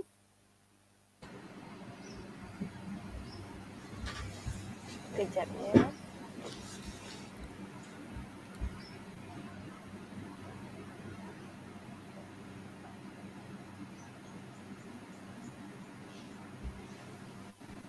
Ah, okey, Nisa. Uh, yang berusaha Dr. Rizwan bin Idris, pensyarah cemerlang Timbalan Ketua Jabatan, Jabatan Perancangan dan Penyelidikan Inovasi, IPG Kampus Kota Baru untuk menyampaikan perbincangannya mengenai bengkel penyediaan inovasi. Majlis dengan penuh hormatnya mempersilakan. Bismillahirrahmanirrahim. Assalamualaikum warahmatullahi taala wabarakatuh. Alhamdulillah rabbil alamin wassalatu wassalamu ala asyrafil anbiya'i wal mursalin wa ala alihi wa sahbihi ajma'in wa bisalli sadri wa yassir amri wa hlul 'uqdatam min lisani yaqau qawli. Uh, pertamanya saya ingin merakamkan jutaan terima kasih pada Dr. Muhammad Nazri kerana kesudian uh, beliau meluangkan masa walaupun sibuk dengan uh, pelbagai aktiviti di IPG di apa Universiti Melaya nak sebut lagi IPG sebab kami dulu sama-sama IPG uh, kerana meluangkan masa untuk berkongsi uh, serba sedikit uh, mengenai inovasi digital uh, kepada uh, guru-guru pelatih di, di IPG Kampus Kota Baru. Dan saya difahamkan uh, Dr. Nazri ni dia sibuk lepas ni pukul 9 lebih dia ada mesyuarat. Jadi kalau dia uh, nak nak keluar pun tak ada masalah Dr. Nazri. Ya. Terima kasih banyak dan ada, di lain masa nanti mungkin kita akan jemput lagi Dr. Nazri ni dalam sesi-sesi lain lah terutamanya uh, berkenaan dengan inovasi. Okey, um, untuk bahagian saya ni uh, sebenarnya adalah sambungan daripada bahagian yang Dr. Nazri. Uh, kalau kita dengar tadi Dr. Nazri membincangkan banyak mengenai inovasi digital dan di, diketengahkan pelbagai uh, apa platform dan juga apps yang terkini yang boleh digunakan dalam uh, norma baru PDPR ni. Jadi uh, uh, pelatih-pelatih guru yang yang mengikuti uh, bengkel ni uh, diharaplah dapat menggunakanlah banyak sebenarnya di luar sana tu yang kita boleh yang kita boleh apply yang kita boleh gunakan dalam uh, PDPC kita lah. Supaya dia lebih menarik dan kita bimbang. Uh, sebab apa? Sebab uh, ada rungutan daripada guru-guru di luar sana uh, PDPR ini telah membataskan komunikasi di antara guru dengan pelajar. Jadi daripada apa yang terangkan oleh Dr. Nazir tadi uh, kita boleh uh, aplikasikan pelbagai platform sebenarnya untuk menjadikan PDPR kita itu lebih menarik. Dan sebenarnya kita dalam pandemik ni walaupun pandemik ni uh, satu musibah sebenarnya ada hikmah dia kerana guru-guru kita pun terpaksa uh, terpaksa belajar dan terpaksa uh, apa uh, adaptasi dengan situasi yang yang ada sekarang ni lah. Uh, saya share dulu mungkin saya ni agak kuno sikit sebab nama dia di inovasi fizikal yang Dr. Nazri itu digital dia lebih banyak pada digital uh, saya lebih pada inovasi fizikal. Dan uh, apa yang saya tunjukkan nanti sebab kita ada masa saya ingat dalam 9.45 minit kita ada 40 minit sahaja untuk kita uh, apa membincangkan mengenai inovasi fizikal. Jadi dalam masa 40 minit ini saya akan cuba uh, bincangkan uh, apa uh, secara sepintas lalu sebab kalau kita nak bincangkan secara panjang lebar uh, untuk inovasi fizikal ni memakan masa yang banyaklah. Okey, um, uh, ini biodata saya, uh, bukan biodata lah, penglibatan saya dari di, di uh, dalam inovasi sama ada di peringkat uh, kebangsaan dan juga antarabangsa. Uh, ini yang yang tahun 2019 hingga 2021. Uh, sebenarnya saya terlibat dengan inovasi ni tahun 2009 lagi. Uh, kalau nak tulis di bawah tu memang panjang lah. Okey, uh, adakah anda seorang inovator? Uh, ini juga persoalan yang bermain-main di minda kita terutamanya guru pelatih yang baru-baru berjinak-jinak dengan inovasi. Dan kita mungkin ingat bahawa inovasi ini sesuatu benda yang sukar, sesuatu yang benda yang payah untuk dibuat, sesuatu yang benda yang memerlukan masa yang lama, sesuatu benda yang memerlukan kos yang banyak, ada sesuatu benda yang bila dibuat tiada manfaat. Mungkin itu uh, mitos mengenai uh, inovasi. Dan adakah kita semua ni terutamanya guru pelatih uh, boleh meng- menghasilkan inovasi? Dan untuk makluman semua, uh, guru pelatih kita guru ni memang terpaksa menjadi seorang inovator. Dan sebenarnya dalam kelas uh, secara fizikal bila kita masuk saja dalam kelas uh, secara sedar dan tidak sedar kita sebenarnya telah pun menjadi inovator. Uh, saya bagi contohnya bila kita masuk saja dalam kelas. Contohnya bila kita mengajar uh, sesuatu subjek. Uh, kalau saya dalam sejarah bila saya mengajar saya tengok pelajar saya ni bila bila bersoal jawab mengenai fakta pelajar saya ni apa ada masalah untuk mengingat fakta. Jadi untuk seterusnya kelas saya yang seterusnya saya akan ubah suai walaupun dalam bentuk yang kecil sahaja uh, saya telah buat kreativiti sedikit mungkin saya ubah suai dari segi uh, keedah menyoal mungkin dari segi uh, tambahan penggunaan bahan mungkin dari segi uh, saya cipta satu intervensi baru untuk menjadikan pelajar saya ni boleh mengingat dengan baik itu sudah masuk peringkat uh, kreativiti dan nak pergi kepada inovasi. Dan baru-baru ini saya dengan Dr. Nazri telah pun uh, memberi apa uh, taklimat bengkel mengenai kajian tindakan. Dan sebenarnya kajian tindakan ini, inovasi ini adalah rentetan daripada uh, kajian tindakan yang telah kita buat dalam kelas. Dan saya dah ceritakan bagaimana kajian tindakan itu boleh dibuat uh, secara yang lebih simple, yang mudah, yang yang apa uh, pelajar-pelajar boleh buat dalam masa yang singkat. Dan uh, hari itu saya dah bincang dengan panjang lebar mengenai kajian tindakan dan inovasi fizikal dan digital ini sebenarnya rentetan daripada kajian tindakan yang kita buat dalam kelas. Okey. Um, sebaik saja kita masuk dalam kelas, biasanya cikgu ni kita buat refleksi kan. Kita buat refleksi dan refleksi itu adalah uh, bertujuan untuk uh, penambahbaikan sama ada PDPC kita dalam kelas, cara kita menyoal, mungkin cara kita uh, bercakap dengan pelajar, mungkin cara kita ber, apa uh, mendekati pelajar, benda-benda itu kita akan tengok balik uh, supaya uh, the next class kita itu akan menjadi lebih baik dan lebih uh, lebih bermakna.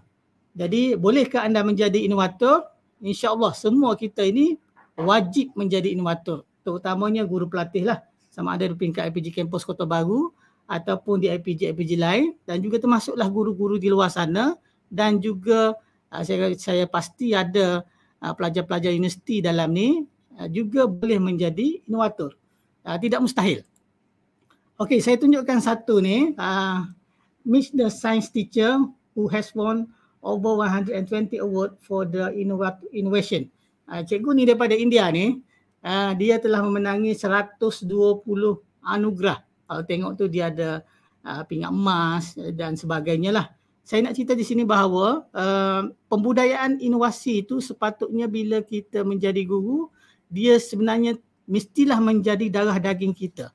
Dan kita mesti sentiasa membuat penambahbaikan, uh, memastikan bahawa berlaku good practices dalam PDPC kita dalam kelas. Dan ini telah dibuat oleh uh, seorang guru di India ni. Kalau kita tengok dia telah menghasilkan uh, 120 anu inovasi dan telah memenangi uh, 120 inovasi. Mungkin dia buat lebih lagi daripada 120. Yang dia menang ialah 120 uh, anugerah di peringkat mungkin peringkat kalau kita tengok yang saya baca di peringkat kebangsaan dan juga antarabangsa. Jadi tidak mustahil cikgu biasa di sekolah-sekolah biasa pun boleh membuat inovasi cuma kita kena uh, mulakan dan kita kena uh, biasakan benda tu. Sebab kita tak biasa jadi kita kita rasa benda tu sukar. Sebenarnya senang saja nak buat inovasi ni. Nanti saya akan ceritakan secara sepintas lalu sebab kita tak ada masa. Mungkin saya akan buat webinar khusus untuk macam mana penyediaan inovasi fizikal. Okey, uh, jenis inovasi ni uh, para pelajar semua dan juga pendengar, uh, kita ada dua jenis inovasi. Yang pertamanya inovasi fizikal, yang uh, yang pertamanya fizikal, yang keduanya ialah digital yang dibincangkan oleh Dr. Nazri tadi yang panjang lebar tadi ialah inovasi digital. Dan inovasi digital ni kita tak boleh lari dah. Memang kita terpaksa hadapinya dan kita terpaksa belajar supaya kita boleh adaptasi dengan situasi masa kini. Dan kita bimbang uh, kita sebagai guru, terutamanya guru pelatih nanti akan keluar jadi guru, kita bimbang sekiranya kita tidak menguasai teknologi, kita tidak menguasai benda-benda seperti Padlet dan benda-benda yang yang baru yang terkini, platform baru seperti kelas dojo, jojo tadi, uh, kita bimbang kita akan ketinggalan dan uh, ini akan merugikan kita lah. Yang saya akan bincangkan hari ini ialah inovasi fizikal. Yang tadi inovasi digital. Walau bagaimanapun canggih pun kita sekalipun, uh, tapi kita perlu bersedia dari segi penghasilan atau membuat intervensi uh, dalam PDPC kita dalam bentuk yang fizikal. Kerana uh, kita juga perlu uh, memahami bahawa bukan semua tempat, bukan semua tempat uh, di dalam Malaysia ini ada apa rangkaian internet, uh, boleh dihubungi apa dengan uh, dengan senang dengan internet yang yang yang jelas. Uh, kita bimbang benda tu sebab uh, sebab itulah kita perlu ada uh, bahan-bahan inovasi dalam bentuk fizikal.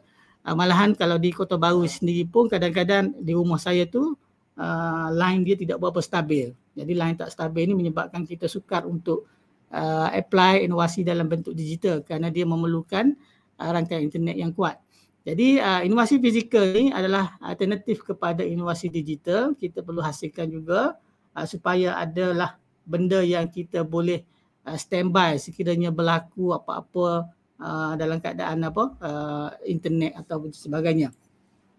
Okey, saya bagi contoh ini adalah uh, antara contoh bahan inovasi fizikal yang dihasilkan oleh pelajar PISMP Sejarah. Sekarang ni pelajar ini, uh, Ain nama dia, telah pun uh, posting uh, dan inilah bahan inovasi dia nanti saya akan ceritakan uh, secara detail nama dia kalau kita tengok tu Fun Track Hero kalau kita lihat secara fizikalnya inovasi ini pun dah menggambarkan ini sesuatu yang menarik. Dan kena ingat inovasi ini uh, perlu dilakukan dalam konteks permainan supaya dia menarik dan pelajar yang ikut serta nanti akan lebih uh, seronok dalam bahasa yang sama sebenarnya dia belajar sesuatu. Itulah konsep inovasi dalam bentuk fizikal. Kalau tengok di sini ada apa apa yang dia buat ni uh, kalau tengok kita tengok tu memang benda yang tidak mustahil. Yang kita pun boleh buat. Uh, guru pelatih dan juga guru di sana pun boleh buat uh, fun track hero ini dia ada lima step perjalanan dia lima aktiviti dan salah satunya ialah aktiviti kalau kita tengok di situ uh, sistem yang dia gunakan ialah uh, uh, sistem main ula-ula main tangga naik tangga balin dadu naik. Tetapi bila dia pergi ke sesuatu step tadi Contohnya bila dia baling dia pergi ke step 2 uh, dia akan ada tugasan tertentu yang dia perlu buat. Dan tugasan itu adalah tugasan yang menjurus kepada apa yang guru kehendaki dalam PDPC dia yang merujuk kepada DSKP yang sudah pun sedia ada. Jadi inovasi yang dihasilkan walaupun fizikal ataupun digital mestilah mengikut sukatan pelajaran dan juga kemahiran yang kita kehendaki. Okey, contohnya dalam sejarah uh, biasanya kemahiran-kemahiran yang kita uh, kendaki dalam DSKP kemahiran mengingat, kemahiran membuat kronologi, uh, kemahiran memahami fakta, kemahiran membuat apa generalisasi dan juga sebagainya uh, boleh kita applykan dalam dalam uh, bahan inovasi uh, fizikal ni. Dan kebaikan inovasi fizikal ni uh, dia boleh dibawa ke mana-mana itu kebaikan inovasi fizikal ni boleh dibawa ke mana-mana berbanding dengan inovasi yang uh, digital tetapi uh, dia tidak boleh bertahan dalam masa yang lama lah.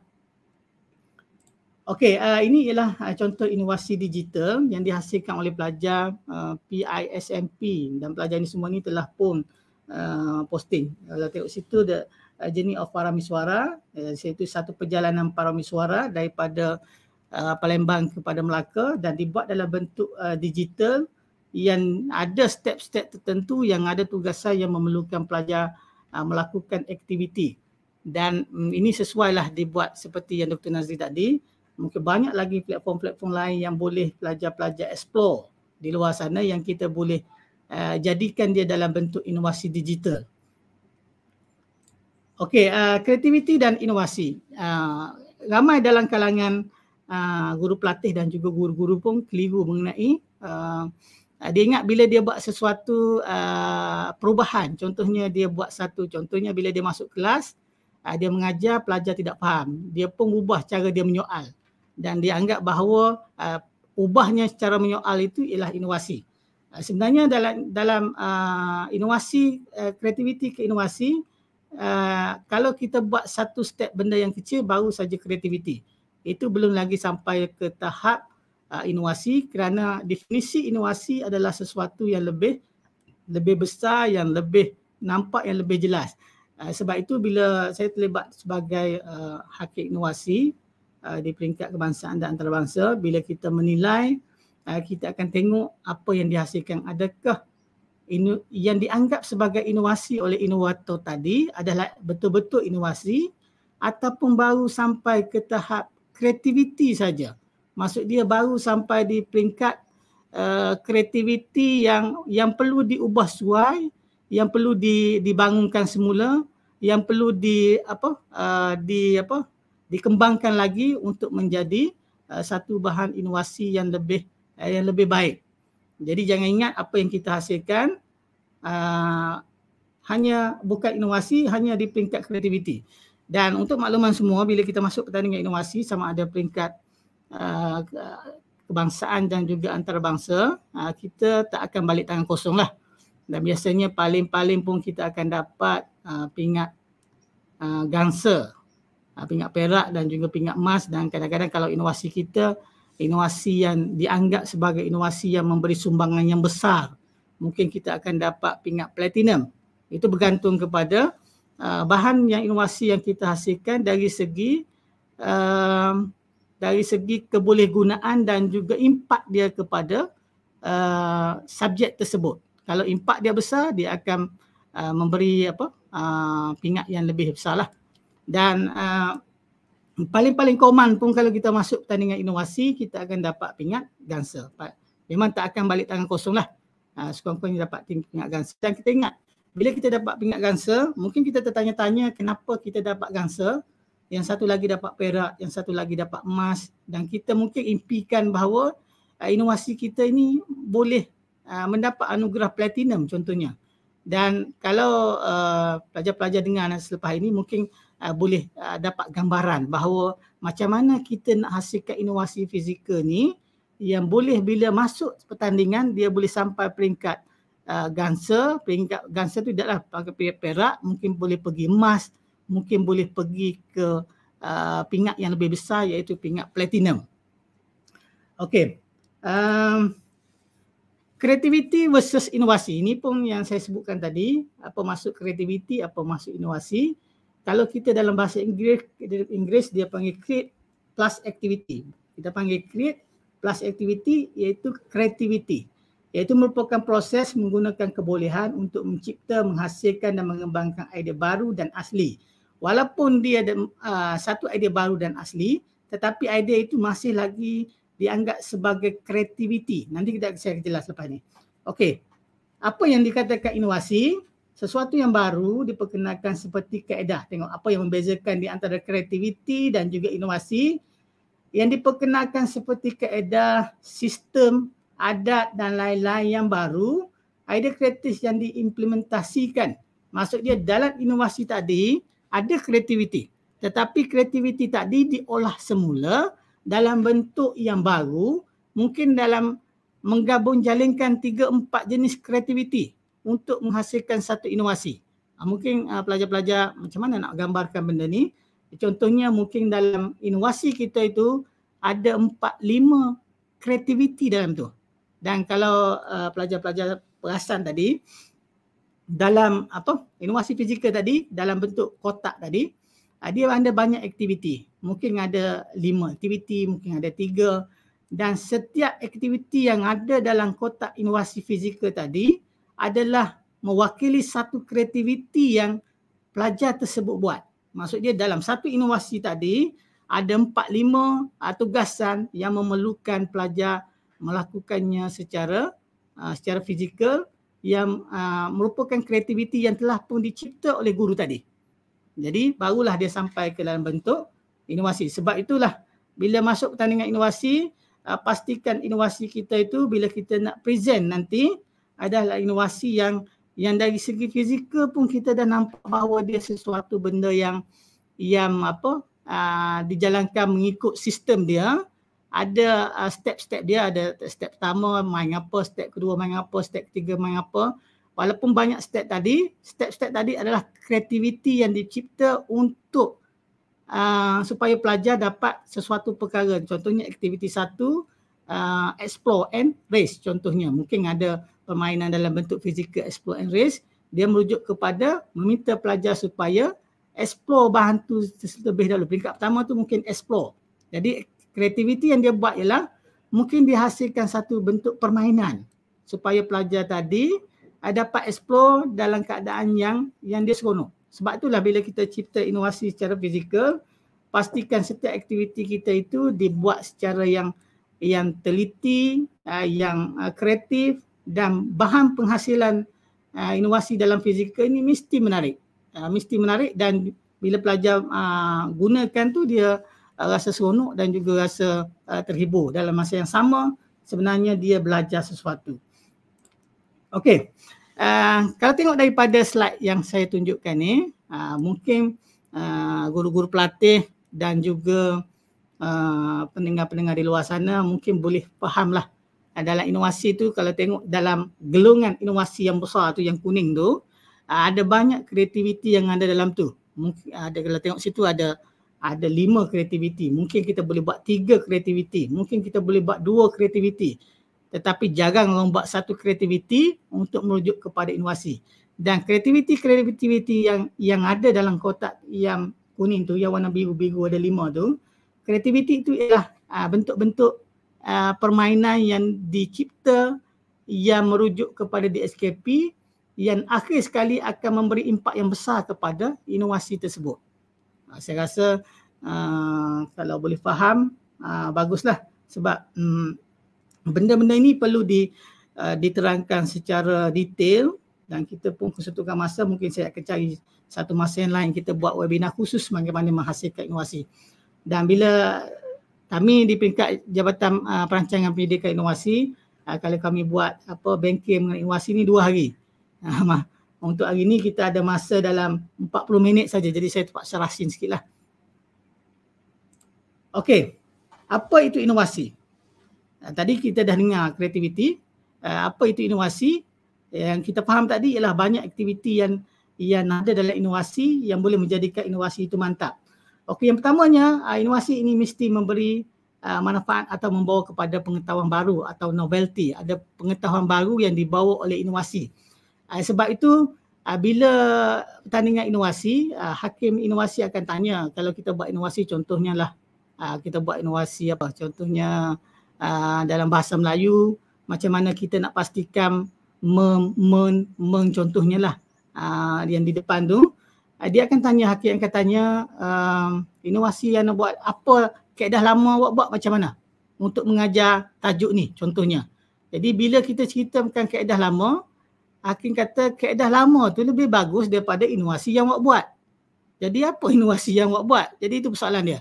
Pengetahuan baru ini ialah uh, sama ada dari segi uh, konten tadi, konten mata pelajaran kita. Tapi yang lebih penting ialah pengetahuan baru ini ialah uh, biasanya kita sebagai guru ialah uh, pedagogi baru yang kita gunakan untuk mengajar tajuk-tajuk tertentu.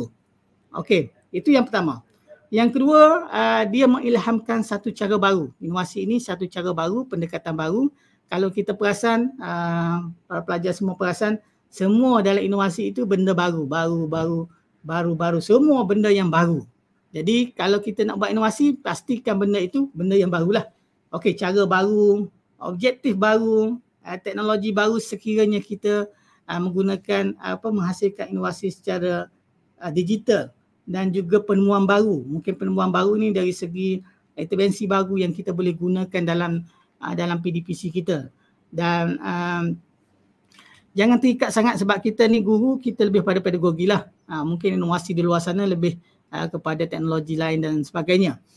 Okey, um, itu ialah inovasi.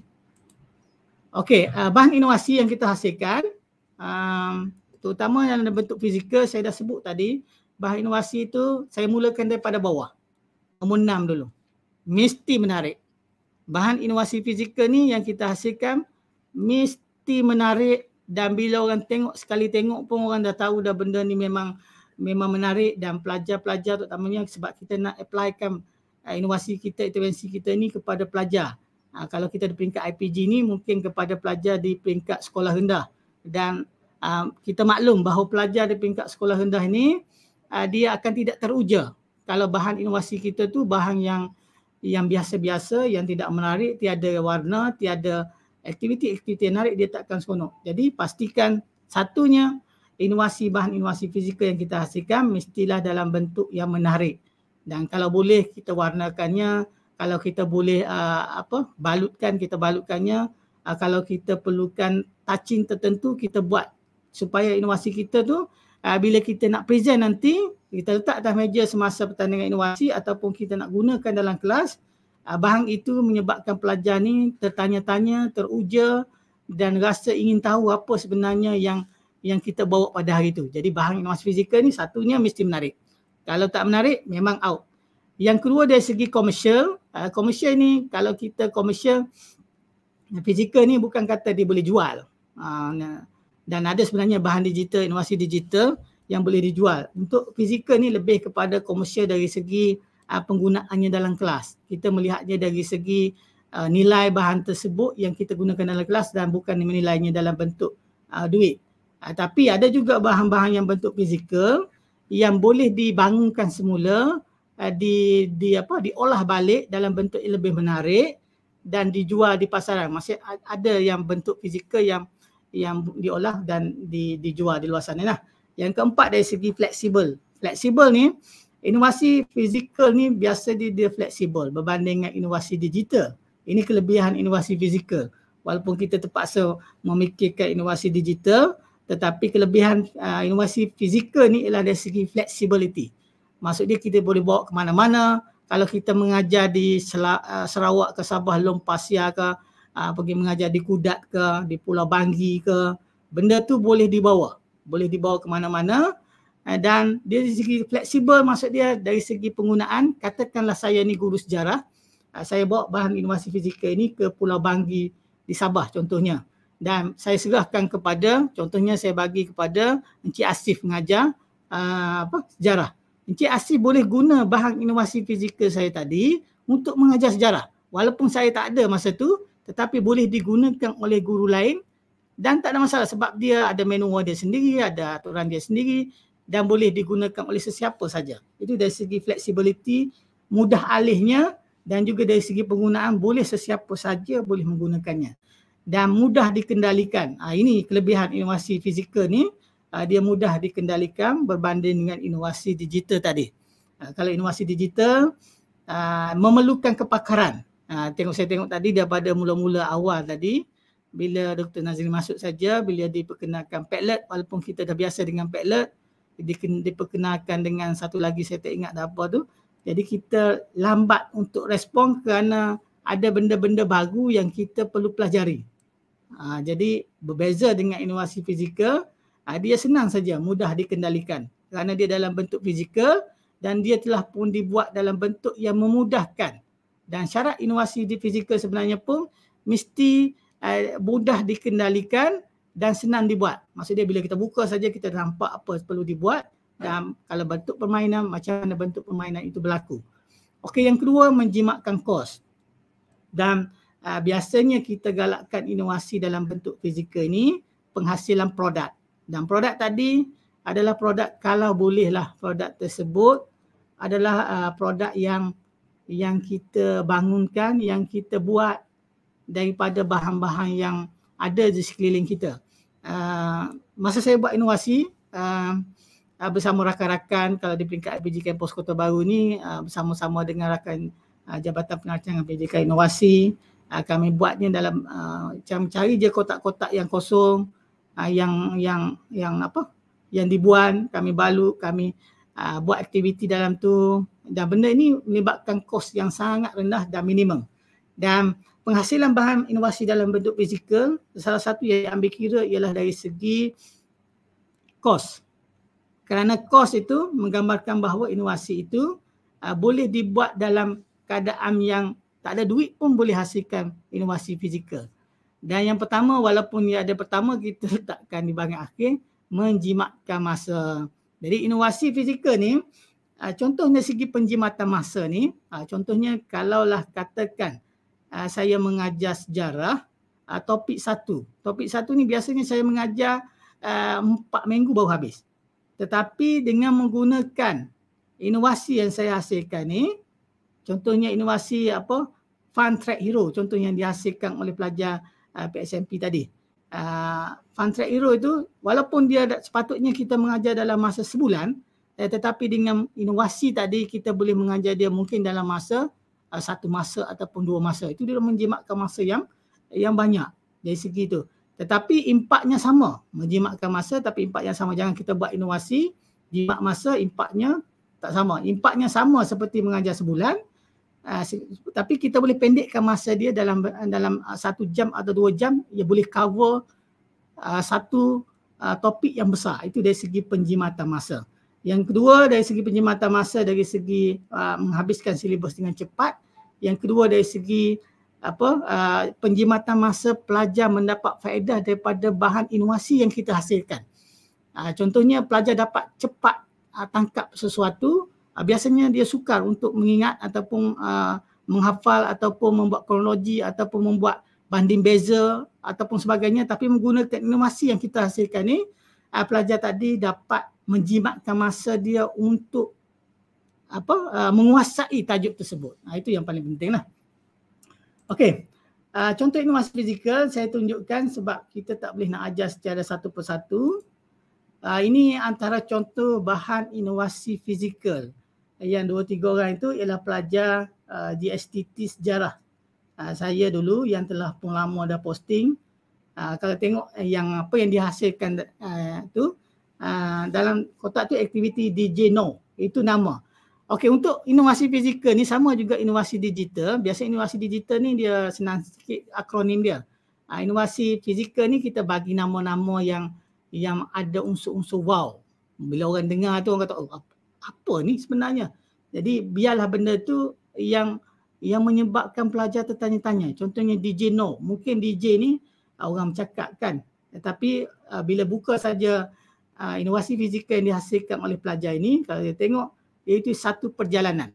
Satu perjalanan dan menggunakan dadu dan setiap perjalanan tadi kalau tengok daripada gambar yang yang saya paparkan tersebut ada uh, kapal, ada macam-macam apa replika yang diletakkan di situ yang merujuk kepada aktiviti yang pelajar perlu lakukan daripada step 1, step 2, step 3, step 4, step 5, step 6 contohnya dan setiap persinggahan tadi dalam ni ada aktiviti yang memerlukan pelajar membuat sesuatu tugasan yang memberi faedah kepada dia untuk pergi kepada step kedua.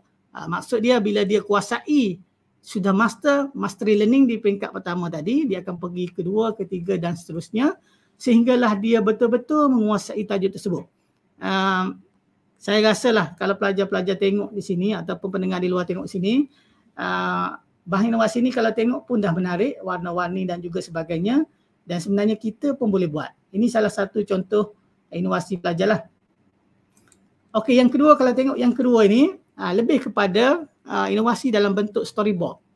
Iaitu uh, dia apa menggunakan uh, satu kotak dan dalam kotak itu uh, menceritakan mengenai riwayat hidup Antuah Laksmana Melaka maksud dia daripada dia lahir uh, dari segi kegemilangan dia uh, peperangan melawan apa uh, apa uh, Laksmana Antuah pernah melawan Portugis dan sebagainya sehinggalah dia mangkat jadi uh, dengan hanya menggunakan kotak ini satu kotak ini dengan penuh dengan aktiviti kalau kita tengok penuh dengan aktiviti penuh dengan uh, gambar-gambar penceritaan yang ada dalam ni membolehkan pelajar-pelajar kita ini dengan hanya berpandukan permainan satu kotak saja dia boleh menguasai uh, apa riwayat hidup uh, hantuah Laksmana Melaka. Maksudnya dia boleh faham daripada awal sehingga habis.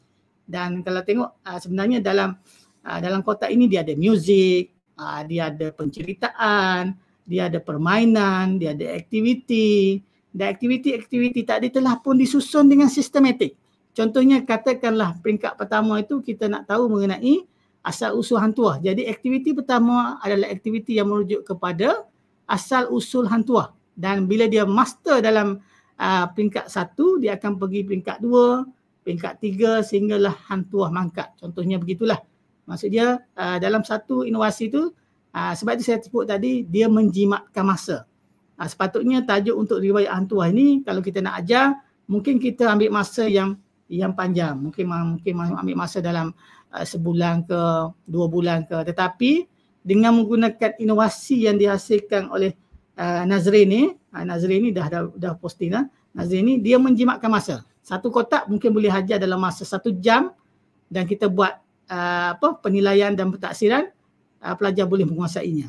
Dan benda ini telah pun diuji guna dan dari segi keberkesanan dia juga ditunjukkan dalam inovasi tersebut lah. Okey itu salah satu. Jadi saya terpaksa tunjuk contoh-contoh saja. Okey, uh, yang ini ialah inovasi fizikal juga inovasi fizikal nama dia ialah monopoli dan kita sedia maklum uh, pelajar-pelajar di luar sana terutamanya pelajar-pelajar sekolah rendah memang dia minat main monopoli ni uh, ada main Saidina, ada main monopoli dan juga sebagainya kalau tengok di sini apa yang pelajar ini buat dia menggunakan kreativiti pelbagai kreativiti kalau tengok dalam gambar ni kreativiti yang digabung jalinkan dia dah gabung jalin berapa kreativiti untuk menghasilkan inovasi nama dia monopoli. Dan kalau tengok daripada ni uh, monopoli ni mirip juga kepada yang tadi. Sebenarnya dia bentuk permainan uh, balin dadu, ada pergerakan. Uh, ni uh, bagi tajuk ini ialah bagi tajuk uh, pelajar ni dia buat mengenai apa zaman prasejarah. Kalau tengok situ uh, 10,000 tahun apa aktiviti dia situ ada gambar-gambar yang menunjukkan bahawa uh, bahan-bahan yang digunakan oleh masyarakat zaman uh, zaman prasejarah dan bergerak kepada zaman uh, paleo kepada mesolitik kepada zaman neolitik kemudian kepada zaman uh, zaman apa uh, zaman moden awal uh, itu di, di, dibuat dalam bentuk bentuk aktiviti yang bentuk permainan yang budak boleh uh, bermain dalam suasana yang menarik dan kalau kita tengok dari segi susunan aktiviti juga susunan aktiviti yang dibuat oleh pelajar ini dia telah pun mengikut sukatan pelajaran. Jadi bila kita nak buat inovasi terutamanya guru-guru di luar sana dan guru pelatih pastikan benda itu merujuk kepada DSKP tetapi kita buat bentuk dalam bentuk yang lebih menarik maksud dia dalam bentuk aktiviti dan juga sebagainya. Okey, saya bagi contoh. Kalau tengok yang ini pun menarik kalau kita tengok yang ini pun uh, kita pun kalau saya jadi pelajar lah. Kalau cikgu bawa benda ni dalam kelas saya saya pun teruja kita pun rasa nak bermain. Apa benda cikgu bawa ni? Uh, roda impian ke? Apa ke? Jadi tengok daripada fizikal inovasi ni pun kita dah menarik. Jadi inovasi ni ialah uh, lebih kepada dia panggil roda impian pelajar perlu putar dia akan sampai ke uh, berhenti di satu step pelajar akan cabut. Sebab kalau tengok dari uh, kotak uh, bulatan yang dia hasilkan pelajar ini hasilkan dia ada apa? Uh, dia ada apa? Apa slot-slot yang dia perlu cabut. Bila dia sampai ke dia pusing tu sampai situ dia akan cabut. Ada aktiviti yang yang pelajar perlu lakukan. Dan sebenarnya apa yang pentingnya ialah satunya bermain fun learning yang keduanya sebenarnya dia belajar dalam masa yang yang sama. Dan kalau tengok situ uh, roda impian ni ada dua. Sebelah sana pun boleh main sebelah sini pun boleh main. Jadi uh, kalau kita tengok dia double side double side uh, apa uh, roda impian ni. Dan bila kita buat dalam kelas, ya, saya pergi tengok macam mana dia applykan dalam kelas. Dan benda ni uh, pelajar rasa tuja, rasa menarik, uh, bila aktiviti dia main suka-suka. Dia pelajar ni suka bila dia main benda-benda ni dia akan uh, seronok, dia ketawa, dia uh, dia berlari-lari, dia tak ada masalah sebab kita nak supaya uh, PDPC yang kita buat itu berlaku dalam keadaan yang tidak stres dan pelajar rasa seronok bermain. Sambil-sambil dia bermain sebenarnya dia tak mendapat sesuatu. Sebab apa bila kita di akhir nanti uh, satu uh, apa inovasi yang kita hasilkan aktiviti terakhir ialah aktiviti penilaian. Memang kita akan buat penilaian dan kita akan tengok keberkesanan uh, penggunaan inovasi atau intervensi yang kita gunakan. Uh, sekiranya tidak berlaku peningkatan, kita mungkin akan ubah suai di mana-mana yang kita rasa perlu dan kita test balik. Sebab inovasi yang dihasilkan ni uh, perlu melalui proses kajian. Sebenarnya uh, bila kita sebut kajian ni kita cikgu-cikgu luar sana rasa macam uh, benda ni besar kata bukanlah kata kajian yang besar. Maksudnya kita tengok eh, ini rasa macam nak ubah lah aktiviti ni. Eh, yang ni kena modified sikit lah. Eh, maksudnya dalam bentuk yang sikit-sikit saja yang boleh membantu bahan intervensi kita tu lebih eh, seronok bila dimainkan oleh pelajar. Okey, Uh, ini kalau tengok yang ni inovasi yang dihasilkan pelajar saya ni, uh, uh, kita pun tertanya-tanya ni pizza ni. Dia hasilkan inovasi uh, kotak pizza. Uh, kotak pizza Auni nama dia. Mungkin Auni tu mungkin nama nama akronim yang diberi kepada aktiviti yang ada dalam tu. Dan kalau tengok situ, uh, kalau lah kita bawa benda ni dalam kelas contohnya. Kalau kita bawa saya rasa kalau saya pelajar pun saya pun uh, kita kan minat pizza kan. Kita tengok eh pizza, cikgu bawa pizza ke hari ni? Ah, rupa-rupanya bukan pizza. Nama saja pizza tetapi kalau tengok gambar di sebelah sana tu bila dia buka saja kotak itu ah, banyak pizza-pizza yang ada dalam kotak tu. Saya rasa memang pecah kalau pelajar tengoklah memang dia teruja memang dia nak nak tengok benda tu. Sama sebab fizikalnya dah menarik. Dan bila dia pergi kepada uh, permainan, uh, pizza-pizza tadi bukan sekadar pizza sebenarnya. Dan kalau tengok dalam dalam uh, gambar yang sebelah tu, uh, pizza-pizza tadi dia ada banyak slot-slot dia tu dan setiap slot tu setiap cebisan daripada pizza tadi ada aktiviti yang pelajar perlu buat. Maksud dia dia akan buat keluar benda tu dia akan tengok apa aktiviti step dia seterusnya dia akan buat bentuk permainan dan juga sebagainya sehinggalah kita mencapai di hujung aktiviti tadi uh, kita telah mencapai objektif apa yang kita nak uh, terhadap bahan inovasi yang kita hasilkan. Dan saya saya percaya bila pelajar-pelajar tengok benda-benda begini, uh, dia mungkin ada idea macam mana nak buat inovasi. Dan kena ingat inovasi ini bukan satu benda sahaja aktiviti, dia sebenarnya menggabungkan kreativiti-kreativiti yang diletakkan dalam tu untuk menjadikan inovasi itu lebih menarik. Okey, itu uh, pizza. Pizza Auni nama dia. Uh, orangnya bukan nama Auni ya, nama pizza tu saja. Auni itu adalah akronim untuk aktiviti yang yang dihasilkan lah. Okey, yang seterusnya ialah ini juga inovasi uh, fizikal. Kalau tengok di situ simple saja inovasi ini. Uh, inovasi ini adalah inovasi yang dalam bentuk uh, apa? Uh, dia buat dalam bentuk apa? Puzzle. Dan puzzle dia letak-letak-letak begitu dan dalam kelas dia dan kena ingat apa yang dia buat ini bukan satu saja puzzle. Dia buat banyak puzzle yang bila dia mengajar mengenai uh, negara-negara Asia Tenggara, bendera negara Asia Tenggara, uh, apa uh, lambang-lambang yang terdapat dalam bendera Asia Tenggara itu pelajar susah nak ingat. Jadi dia buat bentuk dalam bentuk uh, puzzle begini, pelajar akan susun-susun dalam masa yang sama sebenarnya membina kreativiti pelajar uh, mengingat macam mana nak ingat bendera tadi masa dia nak letak puzzle tu dengan bantukan puzzle. Puzzle ni sebab dia dah ada dah dia punya uh, dia punya apa dia punya keluk-keluk tu mungkin lebih memudahkan pelajar dan dia boleh imagine benda itu dia lekat-lekatkan dan siap dan kena ingat sebenarnya bukan lekat puzzle saja ada aktiviti lain yang pelajar perlu buat selepas lekat puzzle tu dia mungkin pergi kepada aktiviti kedua aktiviti keempat dan seterusnya yang yang nanti di akhir nanti semua pelajar ni akan uh, dapat mengingat uh, bentuk bendera negara-negara Asia Tenggara dan juga simbol-simbol yang ada tu uh, mewakili apa contohnya. Uh, itu yang yang yang dibawa oleh pelajar lah. Okey. Yang ini satu lagi dalam bentuk uh, fizikal juga mungkin boleh dibuat dalam uh, mengajar sejarah biasanya uh, dibuat bila kita mengajar bahasa Melayu boleh buat dalam geografi boleh buat dalam bahasa Inggeris boleh buat dalam pendidikan Islam jangan lupa lirik. Maksud dia dia olah balik uh, apa uh, lirik lagu tadi. Dia cipta satu lirik lagu yang menceritakan mengenai sesuatu peristiwa. Nah, ini juga menarik. Dan dia mungkin menggunakan apa uh, apa uh, lirik dan juga lagu. Mungkin guna lagu Sudirman ke mungkin guna lirik lagu apa-apa ke tapi uh, memasukkan elemen-elemen mengenai mata pelajaran yang nak diajar oleh guru kalau kita tengok daripada yang dipaparkan di skrin tu, uh, contohnya Datuk Maharaja Lela, mari jaga negeri ini Perak, uh, campur tangan dan cukai tinggi, kita lawan Bush yang yang dibenci, uh, Sabah kehilangan kuasa, contohnya orang murid menjadi uh, buruh paksa.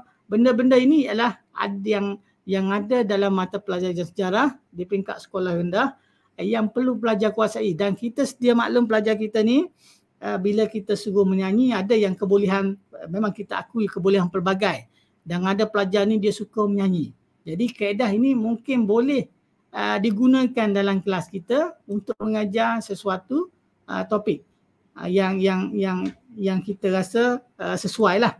Mungkin ada uh, sebab saya dah perkenalkan saya rasa empat lima jenis bentuk inovasi fizikal. Mungkin kita boleh fikir-fikirkan topik satu inovasi jangan lupa lirik. Uh, topik dua mungkin benda lain. Topik ketiga mungkin benda lain yang kita boleh sesuaikan. Maksudnya kita boleh hasilkan sebenarnya banyak bahan inovasi dalam PDPC. Dan kita sebagai guru, sebagai guru dan juga bakal guru, guru pelatihan jadi bakal guru, uh, kena uh, kreatif dan juga inovatif. Ha, sebab itu bila kita sebut kreatif, kita sebut kreatif dulu. Uh, kreatif dan inovatif jangan jangan dan jangan kita rasa bahawa benda tu sesuatu benda yang yang sukar untuk kita buat. Kita buat dan kita ubah suai sebab penghasilan bahan inovasi untuk makluman guru pelatih eh, dan juga guru-guru di luar sana kalau yang mendengar bukanlah kata simply kita buat sekali tu terus jadi. Dan apa yang kami buat di peringkat IPG sebenarnya inovasi yang kami hasilkan dibuat berkali-kali, diubah suai berkali-kali, uh, ditacap berkali-kali, dicantikkan berkali-kali supaya dia sesuai dan mencapai objektif apa inovasi yang kita hasilkan juga juga dan juga inovasi ya ya objektif uh, uh, kita lah. Okey, ini jangan lupa lirik. Mungkin ini boleh boleh diaplikan. Mungkin uh, guru pelatih boleh gambarkan apa yang boleh dibuat dalam subjek masing-masing. Okey, ini juga satu lagi bentuk inovasi fizikal yang saya boleh kongsikan kepada uh, guru-guru pelatih. K Info Corner. Nama dia ialah K Info Corner. Uh, kalaulah guru pelatih tengok kepada secara fizikalnya sendiri pembahasan inovasi ini sudah pun menarik. Uh, dia ada kunci situ. Uh, K itu merujuk kepada key. Key ialah kunci. Uh, kunci maklumat kepada kunci. Corner dia. Eh, kalau tengok situ ada satu, dua, tiga, empat kunci. Dan setiap kunci nanti akan ada aktiviti yang yang perlu pelajar buat. Ha, kalau tengok tu dah menarik dah. Kalau tengok di sebelah sana, itu ialah bila dibuka saja kotak tadi, sebenarnya kotak tadi bukan sekadar kotak semata-mata tetapi sebenarnya dalam itu ada penuh dengan permainan, ada penuh dengan tugasan, ada penuh dengan apa aktiviti yang menarik, yang menjurus kepada apa yang dihasratkan oleh kita dalam mata pelajaran yang kita ajar. Dan uh, di akhir penggunaan uh, K Info Corner ni bila di, dibuat dan diaplikan dan kita bila kita buat apa uh, pentaksiran uh, kepada uh, kebolehgunaan alat ini dan juga dari segi flexibility dan juga uh, memberi kefahaman yang lebih mendalam kepada pelajar. Jadi dia menunjukkan bahawa K Info Corner ini bila digunakan dalam kelas pelajar seronok dan dia lebih cepat memahami ataupun uh, cepat menguasai sesuatu topik yang kita ajar. Okey. Ini antara yang yang fizikal juga iaitu teknik kod digital muzik ini guru muzik lah.